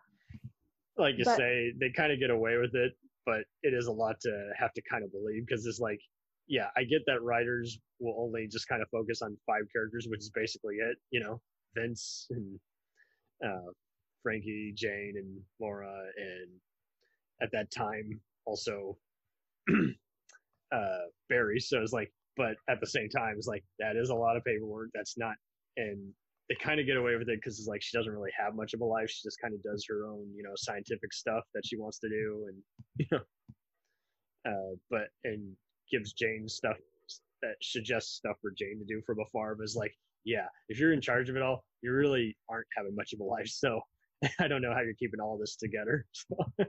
Yep, and she would have been Maura would have been giving more stuff to Susie to do that you actually see Maura in the lab you know, actually running some of the tests. And it's like, okay, we'll go back to she's a medical examiner. And so, what I tried to do to make it more realistic in my fanfic was I said that she's the medical examiner for the Boston Police Department for right there. Yeah. As a, And as a whole. yeah, and the chief medical examiner, and that they're understaffed and they need to find more medical examiners. So in the meantime, she's functioning as the medical examiner as well as the chief medical examiner. There you go. Okay. So, and had they did that in the series, it would have been, you know, more convincing for someone like me who actually goes out and looks up what these people's job descriptions are. I I think the detective wise, you know, they did it they did it good. You had a team of two, so you had Frost and Jane, and then they worked with Korsak, their sergeant. And when you look up the Boston Police Department and you look up the different divisions, that's how it is. You Mhm. have two or three detectives working underneath the sergeant, and then you have like six to eight teams, you know, depending, and you have your night teams and your day teams and, you know, all that. So they did good with that. And Angie Harmon says that she actually went to the Boston, you know, police department and actually worked with them. And so, you know, I don't know how much the writers or any of that research all that, but um, and I don't know if they let Angie have any feedback in any of that. I've seen some other shows where the artists, the artists, the actors get feedback, you know, on their character and how, and the people that are writing the show actually listen to them and incorporate it and change it up a bit, you know, to go with the realism of the situation. So I don't know if Angie got to actually do that. I mean, she said she did the research so she could do the role, but I don't know if she got a voice in how the role was portrayed once she got there. So that would have been interesting to read about that, but I never saw. You never see the the other side of that. You hear Angie talk about she did that, but did anybody use what she learned to help her build the character, or does she just have to portray the character as it was written and that's it? yeah give them notes afterwards like i mean actors do have a say in that you know producers will take seriously like don't invite that director back he was you know focusing Mhm. on just needless you know just random stylish shots and not telling the story or arguing over what the characters do you know which we and we know the character you know don't tell an actor they don't know the character like they've been on the show for years so you know Right. uh, and writers do often write you know start writing when they got the character's voice in their head but yeah it does make you wonder it's like well what was their say because wasn't she an executive producer later on or Yeah, they both did. They both did a show. okay so they, Angie got to do the 100th episode, and I think Sasha did the the last episode and maybe a few of the last episodes. okay yeah so they definitely had some say if they're executive producers so yeah like i can say this about the character and flesh that out add that note you know i get to But you're talking the 100th episode. There were only 105 episodes. So, I mean, they're not getting that say until the very end. oh okay oh well shit So it's not like they got to do it like on episode 10 or whatever. And, you know, So maybe that was just it. Maybe they were just cool with whatever, and they're like, "Hey, can I just have a say on one episode?" I mean, I know some shows, you know, where they, where the executive producers actually sat down with the actors and said, you know, what do you think about this? What's, what's your feedback? And, you know, how can we improve that? And they actually felt like they had some ownership in their character and they've, you know, they could go to that producer and say, hey, you know, I think we should do this instead of this. And then they think about it and they actually do that. And it's like, that's, that's kind of cool.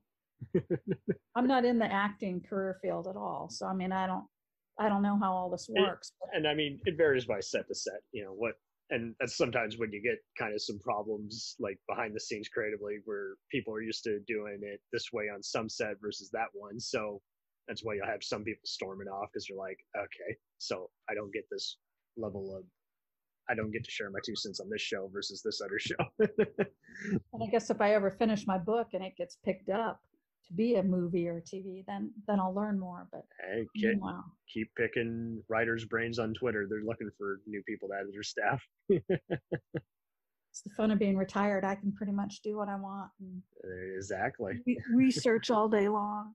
And and I mean they're looking for fans just like themselves who you know know the characters inside and out. Um, if they ever do a reunion, maybe you could write It'd Um, because I know I, I really was surprised that they didn't do one because it seemed like every other show or movie crew was doing some Zoom get-togethers and reunions when COVID first hit, just to kind of you know kill some time and have fun. I would like to see them reboot the show, bring it back. You know, ten Ah. years later or whatever. And What would it look like? Because it seems like they did it now. I guess you could, you know, Jane's working for the FBI now, and Maura did Maura or retire? does she?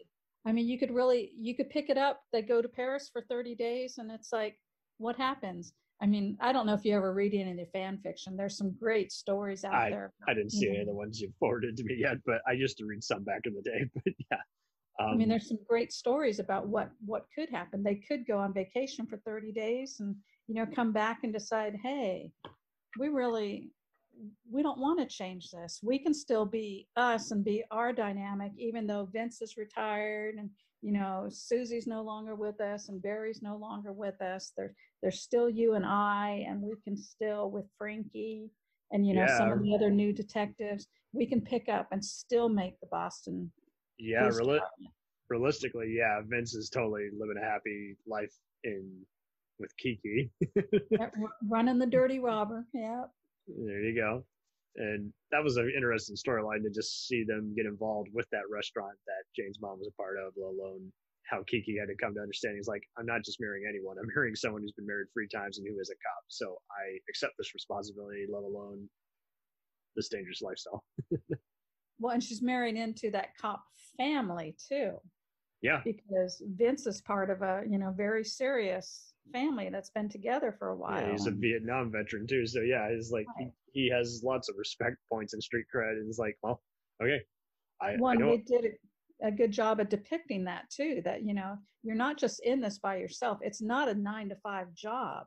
I mean, you're you're together, you know, and you're you're working and it's so funny how they showed her wedding being crashed. Is like because it made the story. It didn't feel like the storylines, you know, weren't actually connected to each other. It's like no, it all connects to one another. You know, it's connected to Alice Sands and all those other awful criminals that are, you know, taunting the detectives. it's like, yeah.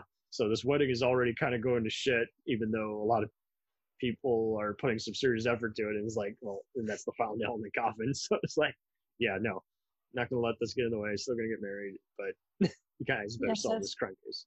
as Jane runs off down the street barefoot with she didn't have a gun, I don't think either. She didn't she didn't have her gun on her. I just kind of complimented her tomboy attitude. She's like, I'll go anywhere, anytime. Yeah. For more.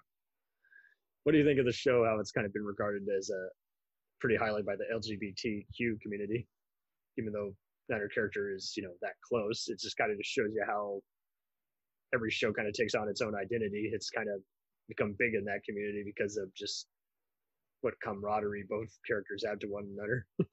So as I said, I'm I'm writing a book. So I started researching and that's how I got back into Rizzoli and Isles. And as I was doing my reading up on Rizzoli and Isles, because I was looking for the cop and who she has the um, work associations with. And then I had, well, medical examiners, like, let's take a look at that. Let me look at Rizzoli and Isles again. and I had heard that from the LGTB community that they thought that you know the characters were gay and it was queer baiting and all that. And I thought about it, and it's like, whoa, what what are you talking about? So I started watching it again with that in mind. It's like, are they? And the more I watch it, it's like they are really friendly. But then I thought about my friendship with my women friends, and it's like, no, we're that They're just Tight. close. They're not. and I'm not a lesbian and I have I sleep in the same bed with my best friend when we go we were working with a youth group and would go to a convention and that and it's like we would have to share a bed and there was no I mean, there's a reason they keep lockers separate. I mean, guys get along with guys, girls get along with girls. You know, it's just like gym class. So it's like, yeah, I, I, I never got any of that from the show. I just was like, yeah, they're just they're just sisters from other mothers. That's that's But when I went back looking at it, I could see where it could get picked up that way. Uh, Especially early on when no one knew where the show was gonna go. It was like, yeah, you know, Maura's pretty playful and Jane is really tight and very tough. You know, They're opposites, but yet they're very compatible. they could easily become either of those stereotypes because they kind of got some of those traits. So it's like, yeah, it you run the risk of having any kind of interpretation when you take on any kind of role, and it's like, well, that's part of acting, guys. You interpret stuff.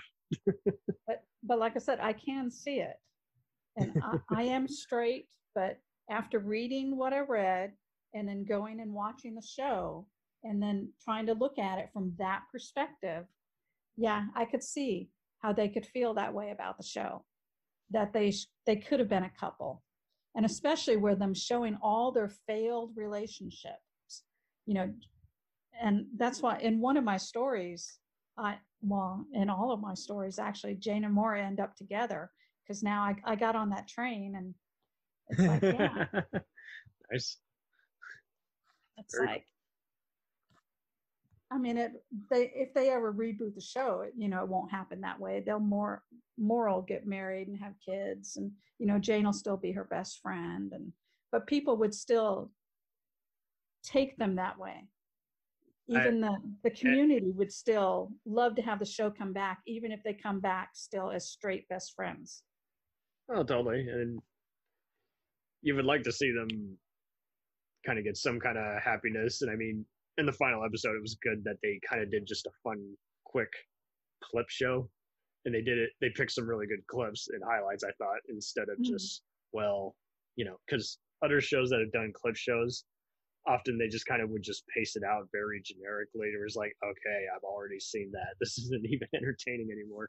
you know, this is the way they did the clips. It's like, okay, I that's a good way of remembering that key point in the show arc. Or yeah, that was a funny scene. That's I'm glad you included that in there. And so you can picture Jane going off to the FBI FBI Academy though, because they did a show where she went and did a guest time there. And so you can actually picture her going off and doing that. But then that brings you to another show that the person did that Castle with Kate Beckett. there you go. And maybe that was their, you know, I kind of got that gist on the closer when one of the wacky detectives was putting up a pineapple, and I was like, maybe they're making a reference to Psych, which was on at the same time. So yeah, those were on around the same time as Castle. So maybe that was the, maybe the writers were a fan of Kate Beckett, and they're like, yeah. Uh, we want Jane to be like Kate Beckett if we ever do a spinoff with another show. Well, that was a whole nother article I read too. Which one's the better cop? Olivia Benson or Jane Rizzoli? And it's like, ooh, those are my two favorites. Apples and oranges. I, I, I mean, I like how Vincent is now like a captain, you know, on, on SVU, but she, I mean, I could see her having, her and Jane having a good respect for each other, but I mean, you can't compare the two. I mean, Yeah. I could see them working together though. totally, it'd be awesome, especially seeing as close as you get as Angie Harmon as her character on Law and Order SVU the first season. But yeah, that's it. Um, that would have been a cool crossover. Um, what's the other one? I'm, I I could see if they brought it back. I just hope they wouldn't do the billionth uh, Taken Man on Fire knockoff. I would hate for Maura to be kidnapped in Paris and Jane go on a you know one man army pursuit. That would just be stupid. I, I would hope that she would be just like an established FBI trainer or something like that. You know, just some high ranking official doesn't necessarily do anything besides just simple office work and get results from afar. You know, she should be the person who's just on a view screen seeing a field ops team do a takedown. She doesn't have to be in the field anymore. Yeah. But see, Castle did that Paris kidnapping thing with Castle's Oh, I- daughter I- getting kidnapped. I totally forgot about that. it seemed like it was all the rage at the time. Everyone had to get kidnapped in Europe. I'm like, it's not Well, that's-. As I sit here and I look at these different shows and what they've done, it's like, yeah, okay. That's why I started writing things down of what I'm seeing in the different shows. And it's like, yeah, they did that. But Rizzoli and Isles never promoted Jane. So in seven years, you know, for the show to run, but I do think they did have her take the exam. I thought she took the sergeant's She- exam. she definitely took ended.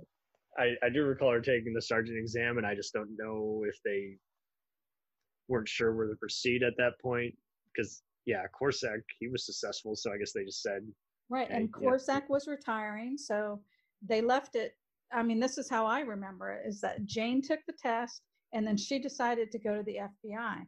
But if they were ever going to bring it back, they could bring it back that Jane took the test, passed the test.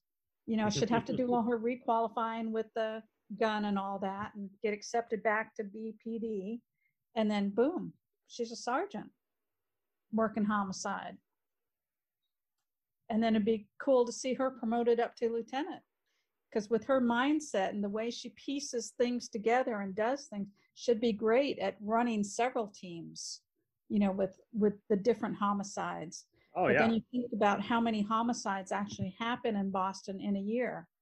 And it's like when you look up the statistics i mean hmm. some years you know they have 40 something some they have 50 60 70 so it's not like you're going to have a homicide you know every week.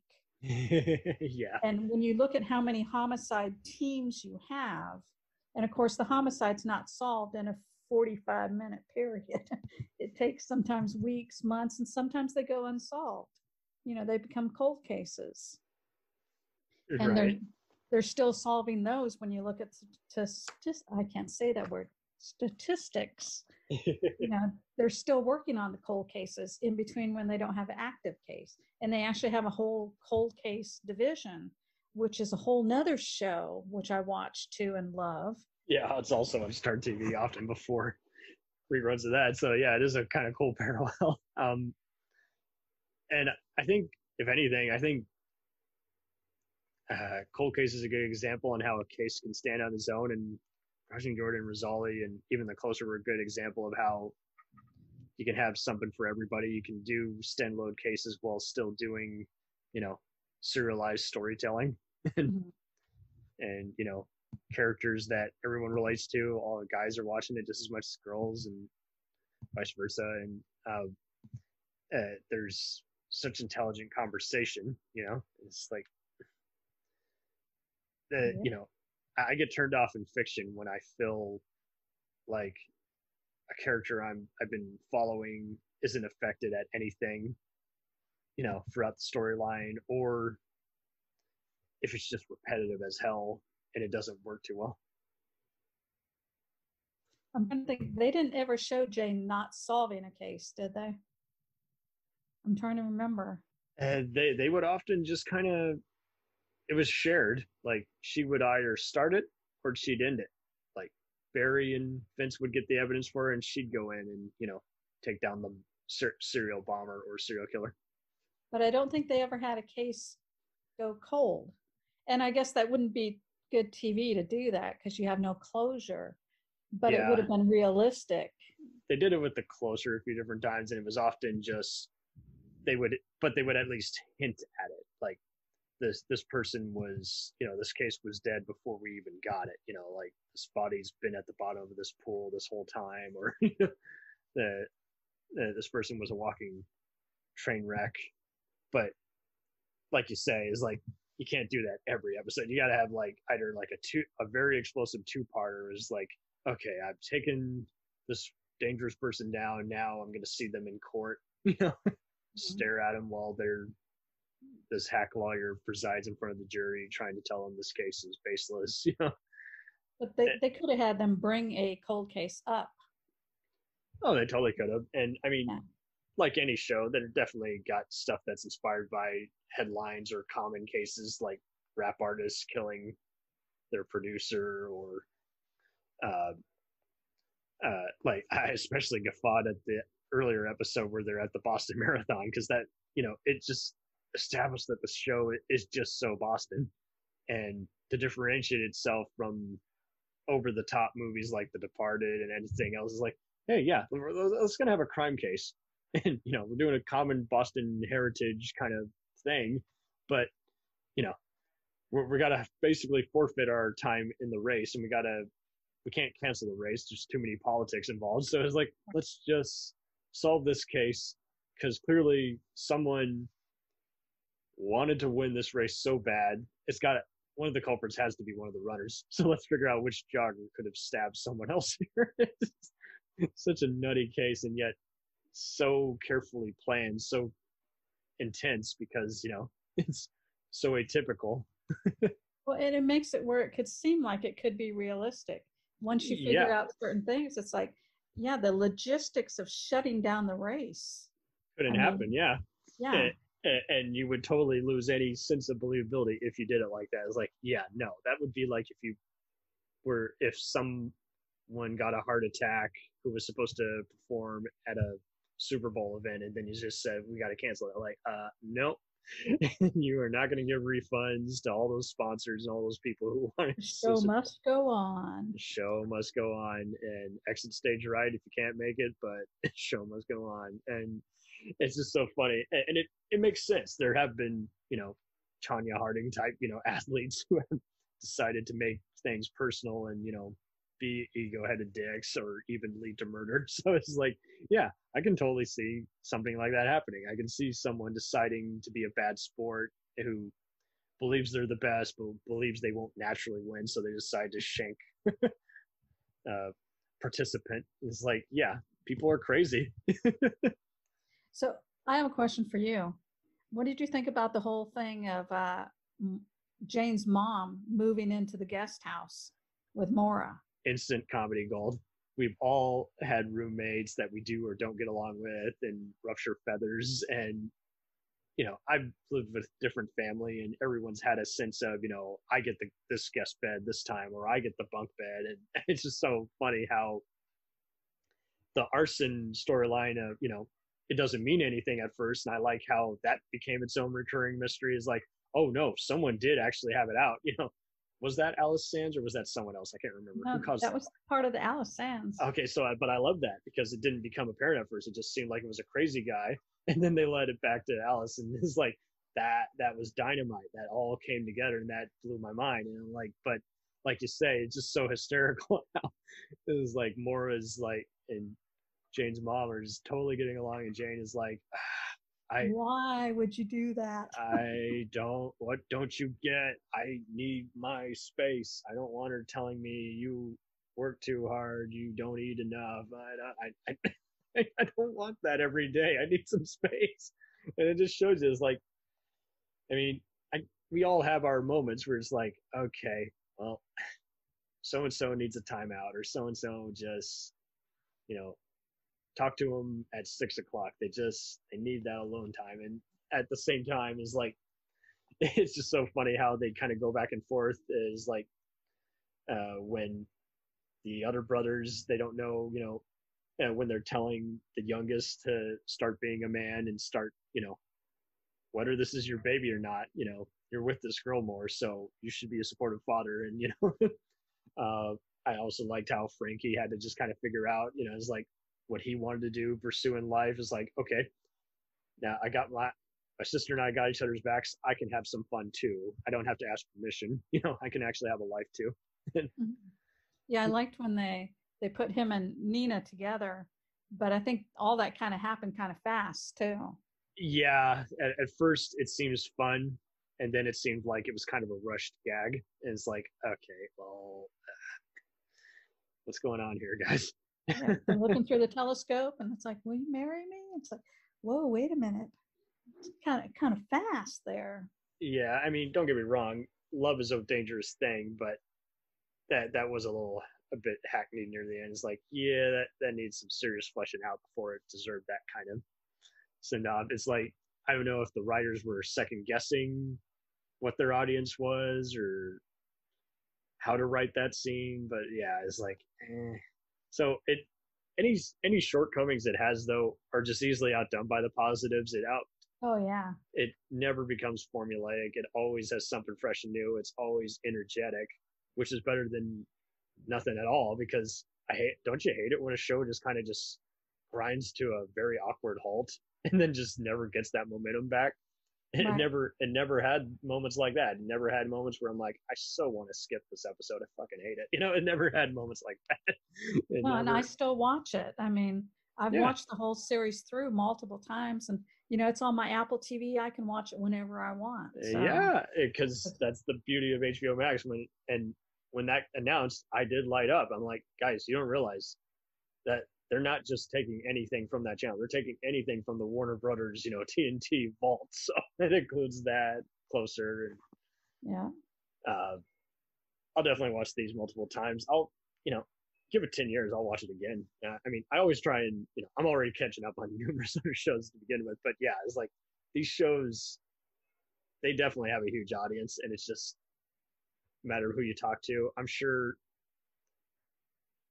from what forums I vaguely recall watching, uh, it seemed like fans of the book were cool with the show. They just really dug how it it seemed like they had the style. They just kind of their license was with how they portrayed the characters, and it's like, well, so the character might be different, but the cast is dynamite, so it doesn't matter. It really doesn't matter. It's not like a Tom Cruise who looks nothing at all like Jack Reacher, and where the movies instead of becoming a fun fugitive. If you read the books, they're definitely something like what you would see on an episode of 24 or something, Mhm. and even a Tom Clancy novel, just dynamite reading, can't no holds barred suspense. Like I was even picking my sister up from college one day, and I just went to the library and I read one of those Jack Reacher books, and I was just like, uh, "Can can you stall yourself in class one more hour so I can finish this book?" book. but yeah, it's like you watch the movies, it's like, okay, ho hum, they're okay. They're not must see. They're just Tom Cruise doing Mission Impossible, but without the Mission Impossible brand. You know, it's just, You know what I would have liked to have seen Sasha Alexander do? Patricia Cornwell is working on Scarpetta. oh, They were casting that, and she asked on, I don't know if it was Instagram or Facebook, who would you like to see play Kay Scarpetta? And I, of course, that Sasha Anderson. I mean, Alexander. She would be perfect for it. And she's already been a medical examiner and all. when you're dealing with an examiner, I'm like, yeah. I mean, it'd be perfect for her, and you could picture her moving into that role. And you know, it's just, but they cast Jamie Lee Curtis. I was like, okay. I mean, It's I like Jamie. Lee Curtis. Don't get me wrong, but I think Sasha Alexander would have been perfect for that. yeah, that is what I have liked about Twitter, where you see them actually kind of pick their fans' brains, but then there are, are other ones where it's like, wait, what? Where did that you know casting come from, or did it even matter to begin with? Was the producer? Well, I think it was already cast before they asked us because the announcement was made, you know, not that far later. Yeah, so they're just trying to get some clicks versus actually caring about the question. Just trying to get it out there that hey, Scarpetta's actually going to come to life. You know, That's annoying. But you don't like it? Well, I I, li- I like the casting and all. I just hate the whole kind of asking a question that really doesn't actually matter. I think Oh. that I think that's a waste of social media. I, I like it when there's legit questions and Well, I mean, it might have been legit. It just seemed like the announcement of the casting was okay, well that that's fair. I could be wrong too. Maybe she did legit care and the investor or producers had other ideas and they didn't coincide. and, It's and they may have tossed some of those popular ones up. I know a lot of people clicked like on mine, you know, so there's a lot of Sasha fans out there that oh yeah. hell yeah, put her as Kay Scarpetta. Because I mean, they can go, you know, a lot of places with Scarpetta. There's so many books. and truth be told, I think a lot of people, my my late grandmother uh, was always into crime mystery and shows, and she never saw that show. I think it, yeah, it was before it was coming out right as she was unfortunately passing away, but she liked the closer and everything. But yeah, if you were to show these faces in front of her, she instantly like like recognized them. Like she saw Angie Harmon on a hysterical episode as a villain of the week on Chuck, and she's like. I know that guy. Oh yeah, yeah, she was on Law and Order and Women's Murder Club. and I know if I brought up Kate, she'd be like, "Oh, Kate, like on NCIS, Kate." I'm like, "Yeah." So, unless you mean Beckett, but yeah, it's like it's like eh, she would totally recognize both those names. So I think that was also kind of the winning formula. Is like they were both pretty underrated names who were had already kind of done they had already broken through and so is this next stage of your career is like by this time both these these actors actresses are immortal Mhm. is like Sasha is always kind of guest starring on a bunch of other shows and independent films, and I haven't seen anything from Angie besides that Voltron thing that she Well- did did some voiceovers. But I she mean- wanted to be um, She-Hulk. Angie did. oh really? a big article that she was promoting herself to be She-Hulk, and Oh nice. and it it actually it went to a black actress, so they're going a totally different way with it. But it's like that would have been cool for her to be the She-Hulk. Oh, I do remember that now. Yeah, that was a hysterical Conan O'Brien interview. She even had the costume she wore for Halloween. I didn't see that. I'd love to see that. Yeah, But- they post. I'm sure if you do an internet search, you can find a picture of her in the the Hulk costume. You know, oh, let me look it up. I was like that. That Oh. I cool. see it now. Nice. That's You awesome. Find it, That's perfect. Yeah, but that would have been a whole nother genre for her to go into, a superhero. I mean, Jane Jane Rizzoli's, you know, a superhero, but Yeah, uh, I mean, they kind of almost come close to that on the show by doing some like costume design kind of choices. Like, I I love it when Frankie and Barry are arguing over, you know, their yard sale, and it's like he's uh, his mother gives away like a toy robot that was one of Frankie's favorites, and like Barry buys it for Oh, like a yeah. hundred bucks or something. I was like, that's great because everyone can relate to something like that. It was like, Mom, you gave away my favorite VHS or my favorite book, you know to half price books or some shit like that. It's like, and I always had that gist where it's like parents were trying to get rid of stuff. I'm like, okay, just because I don't use it doesn't mean I don't love it. so I, I do love that gist of it. It's like, and I used to always go by yard sales, but I had no concept of money. I was that young, and it's like my parents are like, "Don't go to the yard sale because then I have to retrieve you and then buy something there."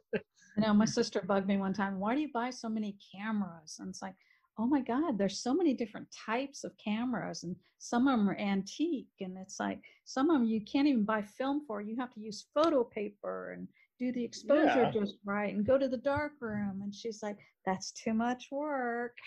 I'll take my Oh. phone out and take my picture. Yeah, I'll see. I, I still miss Kodak cameras. I thought those were so fun how you had the photo right there in your hand. But yeah, it's like people also need to realize just because you're even buying certain stuff, maybe you want to make your own museum. Maybe you want to donate it to some kind of cause. Maybe you want to sell it as a collector's item for twice as value. There's plenty of reasons for why people buy used antiques and other stuff.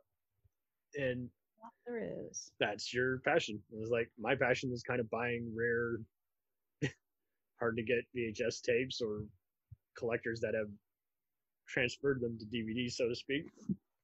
I don't do that all the time because that's expensive as hell, but um, we all got our own passion. I like finding rare. Everyone likes to just show off. Hey, I just bought this new expensive Blu-ray pack. I'm like, yeah, whatever. I'd, I'd be more impressed if you bought, you know, one that was not only hard to find, but has like multiple different cuts of a movie that's you know been supposedly lost the time or was known for having different versions, you know, of one big concise narrative. Put a trouble production, made it hard to find or something like that. Just showing. Uh, I- I'm more into just kind of cult film history, but yeah, I mean, photographs is definitely another interesting thing in that you're learning to appreciate the art that goes into it and you know and again i think you can say most certainly i mean digital has not only enhanced reality but has just spoiled so many millennials who just seem to think you know i'm a millennial myself but i know enough that hey you know this is i had enough people reminding me along the way that you know not everything is you know just solved with a simple click or just turning on a digital oven. It's like there, there's a lot of stuff you still got to know how to do manually because, you know, if the world goes to shit, there's going to be a lot of people who just like, I give up life. You know, I don't, I don't know how everything else works, and with taking a photo is like, yeah, the phone option has just really spoiled everyone. They think It is. We're I can- such an instant society. I can. Well, exactly. It's like yeah, I I can take it. It's there. If I don't like it, I can retake it again, or I can digitally enhance it. And it's like you seem you don't realize everyone else didn't have that option. They had to go into the dark room. I figure out- remember when we got push button phones and we didn't have to do the rotary dial phone. Mhm. I mean, I, I'm aging myself now, but it's like, holy crap, that was so nice to be able to just push the button. I still miss flip phones. Hell, Huh? I still miss flip phones. Hell. Oh, yeah. Yeah, my first cell phone was a flip phone. Like, I think for the longest time I had the old fashioned Nokia, so I took really shitty photos. I remember when photos became an option on a phone. right? I, I did not want to upgrade. I was a geezer in the phone world before everyone just finally said you should just upgrade for the family plan. I'm like, I guess I don't want to use phones. Oh, so being a technology teacher, I was into technology. I mean, I had a, a cheap digital camera when they first came out, and it's like playing around with digital stuff. It's like that was pretty cool. I had to stop doing that though; it gets expensive. Uh, yeah. I think I think we're all kind of in a bind right now. Is like the stuff we would really typically be doing. We can't do this next few years. You got to buckle down and save money. But I mean, I used to at college. One of my jobs working on campus, in addition to taking classes, was uh, I was setting up the VHS projector, making sure it was plugged in the right way, and there was always going to be that one professor who would just not even know how to turn it on, and you would have to instruct them over the phone. it's like everything is plugged up. We made sure to do this before class. Uh, you know, I had an instructor call me. I worked at the education center when I lived in Las Vegas, and they Nice. called me up and they're like, "Hey, Chris, I can't make it to class tonight, and I want to show this movie. Can you like set it all up and run the movie, and then have them take notes and turn it in?" And I'm sitting there thinking, okay. I mean, I was in the class. That's why they picked me, and it's like, I'm not getting paid to do that, but okay, sure, fine. So yeah. I didn't have it so lucky. Well, I didn't have it so lucky because sometimes the equipment would be rented out to another classroom for that day, and it's like I'm not going to make a fool of myself and also not be able to unlock your damn computer, which was like I can't unlock it anyway because you don't have your password. That's what unlocks the damn machine, and yeah, I mean, it definitely makes a difference if you're part of the class, and that was coming around the time where everyone was getting used to sending video files over email and everyone getting bigger storages for Yeah. their digital thing. But yeah, it's like it, it, it does become concerning when it's like they'll ask you to do something and like I can get it to you in an hour, I can't get it to you in 20 minutes, or I, I wish you had warned me so I'd have time before your class begun to set this up for you. oh, Yeah. I'm not a genie in a bottle, but Rizzoli and Isles sure are. Oh, I love that show. To me, it'll be around forever because I own it. I've got DVD copies of it. I've Yeah. got I've got electronic copies in my personal Apple TV, Mhm. and I have HBO Max, so it's there. I can watch. right. it. If you Um, don't want to take out your disc or your digital copies, you can just start it up on the streaming service. And that's kind of where I am now with all my other stuff I've had over Well, the and my. DVDs, when I can, are being converted on our Plex server, so that Oh, I nice. can have a digital copy of it. So I saw that you could do that on Plex, and it's like, wow, that's definitely an interesting formula. some of my my uh, I can't get my Stargate to copy over though. So it's like Oh. I wanted to do all my sci-fi shows and get them the ones that aren't on. Like I can watch um, all my Star Trek because I have CBS All Access. yeah, it's everywhere. Wait, that's Param- Paramount Plus now. It's like so I can watch Mhm. those. I don't have to worry about it. But Yeah, I Oh mean, my. hell, they're even on for the longest time. They've been on all the Netflix, Hulu, and Prime platforms. I mean, Trek will definitely live on. but see, I tried finding Crossing Jordan. It's not on anything. No, only Start TV, and it used to be on Prime for a bit, and then they got taken down, and then it seemed like there was rumors that they were going to release it all on DVD, and it's like it was all a hoax. It's not coming out anytime soon. No, it's on DVD. Oh yeah, but only season one, I thought. No, the whole the whole sixth season. Okay, well then It's- some something got should be worked out. arriving at my house today. It's probably downstairs right now, waiting on me to pick up my box off my porch. Uh, even better. Now, if they could do that with homicide, that'd be even better. I love Homicide. Homicide Hunter, Joe Kenda. Oh Is yeah. what you're talking Uh, oh no no, I'm talking Life on the Street. Oh, I guess I don't know that one. Uh, that that was from the '90s. Had Andre Braugher that's introduced the John Munch character before he was on Law and Order. Mm. No, Uh, I haven't seen that one. Oh yeah, well it's hard to get that track down, but it's never going to be on streaming because of the music rights and whatever reason. There's just not enough demand, and despite it being in the same universe as Saint Elsewhere and Law and Order, it's just ah, I don't know why. It's just it's got a huge fan base, but I was able to get the DVDs discounted at forty bucks, and it was so worth it. It I I binged for that all, and it was wonderful. totally recommend any anyone who can find a discount on Amazon and eBay. Uh, I I know you would definitely dig it because it's got a lot of the same kind of just shot on actual location as the place it claims to be in, and lab work and the uh, you know off color detectives all helping each other out and Mhm. equal opportunity, both you know male and female, and just showing the uh, workplace and uh, uh, societal politics behind it all. It all set in Baltimore, and I think in in many ways you'll after you see it, you'll totally see how it kind of influenced Crossing Jordan, some of the other shows. I definitely got a vibe for that on the closer, especially because just showing all the interconnected systems and just all the writers doing a good job of just again characterizing everybody. Um, and I mean, in many ways, that's why I'm doing all these sh- specials on these certain shows. It's just how can you not? They they illustrate perfectly how again everyone is living and breathing and more or less just you know connected instead of just being just ho hum entertainment, you know. and so, like you say, as you've already illustrated numerous times, the show is now immortal because it's just going to be constantly rediscovered or rewatched. As long Three- as there's fans, it'll be out there. And there's definitely fan base. So Yeah, I, I can't imagine it not being uh, talked about in the future. So, thank you ever so much for being on the show, and come back anytime, Christy. okay. Sounds good.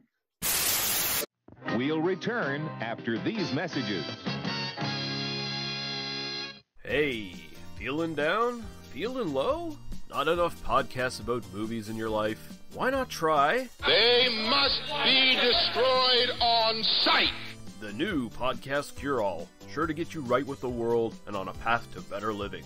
We have exploitation, we have Italian horror, we have zombies, we have slashers, we have crime films, we have spaghetti westerns, we even have sci fi and sex comedies. So take a dose of They must be destroyed on sight. as needed and let the hosts, Lee Russell, Daniel Harper, Paul Romali, and the odd guest host cure what ails you. Warning may cause atrophy, African consumption, black fever, bone shave, chin cough, colic, cramp colic, dropsy of the brain, elephantitis, grocer's itch, jaundice, mania, miasma, mortification, palsy, Pott's disease, rheumatism, scurvy, St. Anthony's fire, summer complaint, and worm fit in some people. Consult a physician before listening.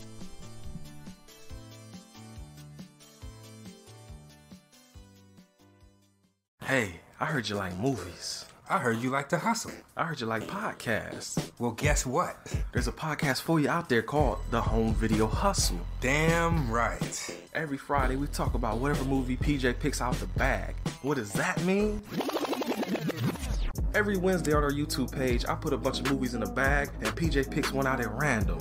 And then we just watch it. We talk about it for maybe like an hour, hour and a half, two hours, whatever we feel like doing, wherever the conversation leads us. But do we actually talk about the movie? Most of the time. Ah, Tangents galore. yes. So believe me, we may be a movie podcast, but it's not always about movies. We might talk about video games, Mhm. Music. Yeah, that's the Mhm. big one. Music. Uh, sometimes we might get a little bit of politicalness in there. yes. Sometimes we may just oh, we know what we like to do. We like to tell stories, PJ. Ah, yes. I am the master storyteller Yes. of the podcast realm.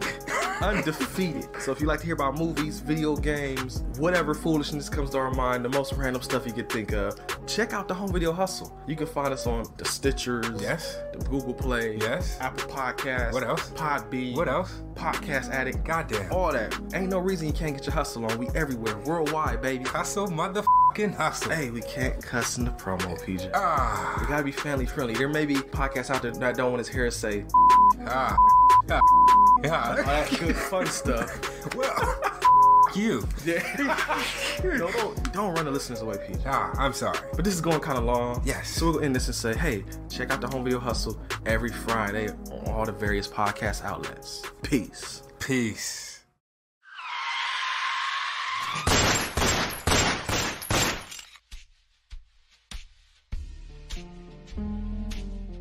As far back as I can remember, I always wanted to be a gangster. And while Witch didn't make it to the top of the world, he did make the Gangs of Hollywood podcast. So join the gang and enjoy a movie review podcast about movie gangs, gangsters, mobsters, and the mayhem they cause. You can find GOH Podcast on Facebook, Twitter, and Instagram at GOH Pod at www.gohpod.com, as well as your favorite podcast listening app. And remember, say hello to your little friend for me.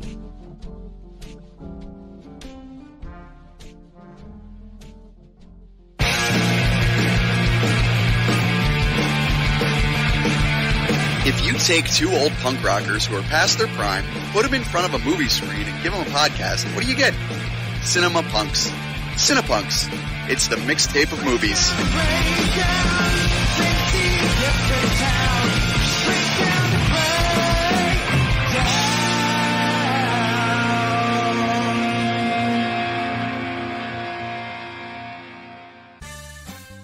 Did you ever see a film at such a young age it left you traumatized with cinematic wounds? Ah, necrophilia. Ah, ah, ah. It's a dead issue, man. Don't don't push it. Cinema Psyops is a weekly podcast documenting an ongoing experiment on the mind of an unwilling test subject. No one should have to watch this movie. Oh, no one should have to watch this. No one should have to watch this movie. Surprisingly, it's not a topic that a lot of people really want to tackle. I'm shocked, prudes. I know, really. Right? It's the next sexual frontier that no one wants to explore. I am, in the most sincerest of senses, disappointed in you. It takes a powerful goddess like Connie, jam her arm down the monster's throat and kill it. Oh, I'm still tripping out over that. Even as a kid, I was like, I gotta find a girl like that. Every week, I, I get a new look of disappointment that I never thought I could get out of her. Unimaginable. At 12 years old, you should not be watching this movie. Obviously. At 13, you should not be. 14, you shouldn't be. I'm not entirely sure even 17 year olds should be watching this. Just because you're offended by something doesn't mean that you have the right to demand that it doesn't exist. Watching this film again, I had all of this like little nerd glee with everything that kept Little popping up. history all Yeah, popping up at you. So I totally loved this film. Hey, I know why you you know couldn't see that. It's because your brain's warped watching this shit at 12 years old. Yeah, this is this is a rough movie. I told you ahead of time when we were getting ready to do it that it was. How gonna a did you rough watch one. this shit at 12? Because physical wounds heal, cinematic ones don't. Listen to Cinema Psyops.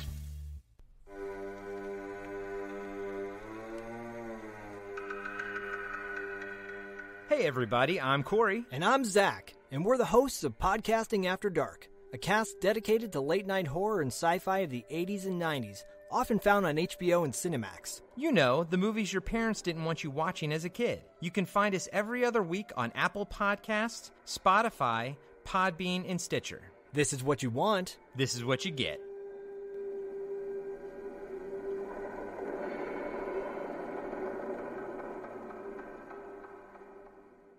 It's time, let's check our cue, baby. Pair it with a couple brews, baby. We love good movies.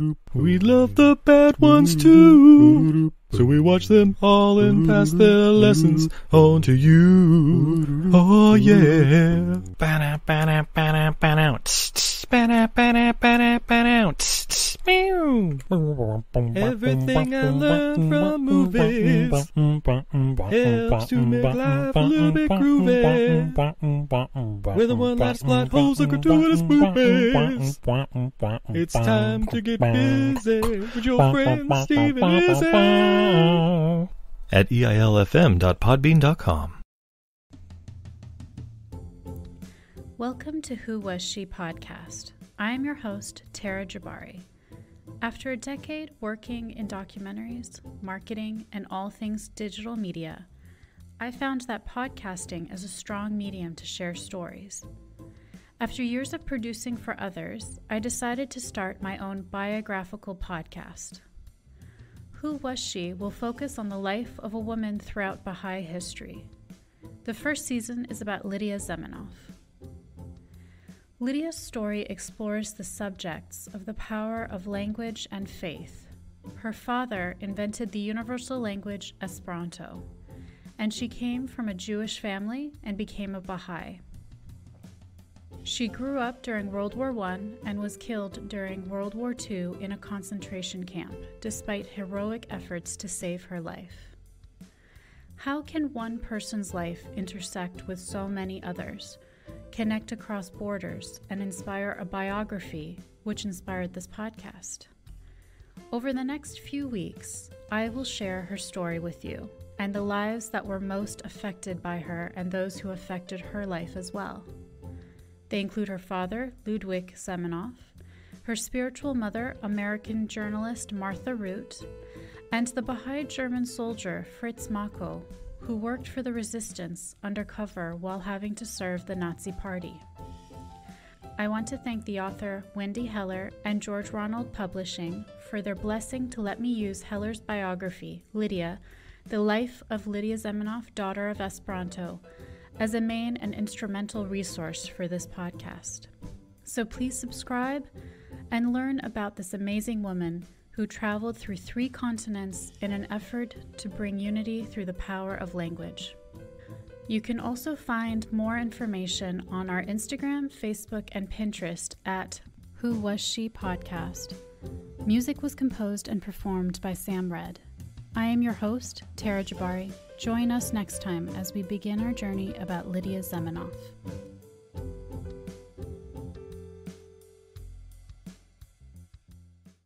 Hi, everybody. It's Mac Jackson. I wanted to invite you to a new site called the Forever Adventure Network. This website has everything pictures, videos, blogs. There's original music by Harmony Constant, two podcasts. One is the MacGyver Podcast, where we celebrate Richard Dean Anderson, his iconic roles, and how it's influenced our lives. There's episode discussions, interviews, and life conversations. The second podcast is the Never Gets Old podcast, where we celebrate all the best things that we love in life, from TV, movies, music, and comics. The site is also the home for the MacGyver SG1 audio series, an ongoing adventure series that continues the adventures of MacGyver and SG1. There are also multiple stores to choose from for all of your pop culture and adventure needs. Come on by and check us out today. And thanks for joining the adventure. Are you sick of the same old stale podcasts? Well, then join Vanessa and Darren as they dissect movies of all kinds. The two lifelong cinema lovers bring their favorites, curiosities, and first time watches to the operating table and inject them with a healthy dose of snark. Then there's the waiting room, where they examine books and short stories. So just look for them on Apple Podcasts and where fine podcasts are available. They're part of the Legion Podcast Network. Follow them on Twitter at VD Clinic Pod. Join them on Facebook at facebook.com slash groups slash VD Clinic Pod or email them at vdclinicpod at gmail.com. They're ready to cure what ails you. and still, they just might be a little contagious. Hi there. It's Heather from the Watching Netflix Without You podcast. Did you know that there are over 1,200 Netflix original feature films and documentaries? And that number is only growing. So I've made it my mission to watch as many as I possibly can. Then, with a delightful guest or guests, disclaimer, more often than not my brother Ryan, we spend an episode rating, reviewing, and discussing a film at length. The first half of every episode is spoiler free for those who haven't seen it yet. And in the second half, after a very clear spoiler warning, we dive into it. And that's really about it. You can listen to Watching Netflix Without You on Apple Podcasts, Google Podcasts, Spotify, and more. We now continue with our program.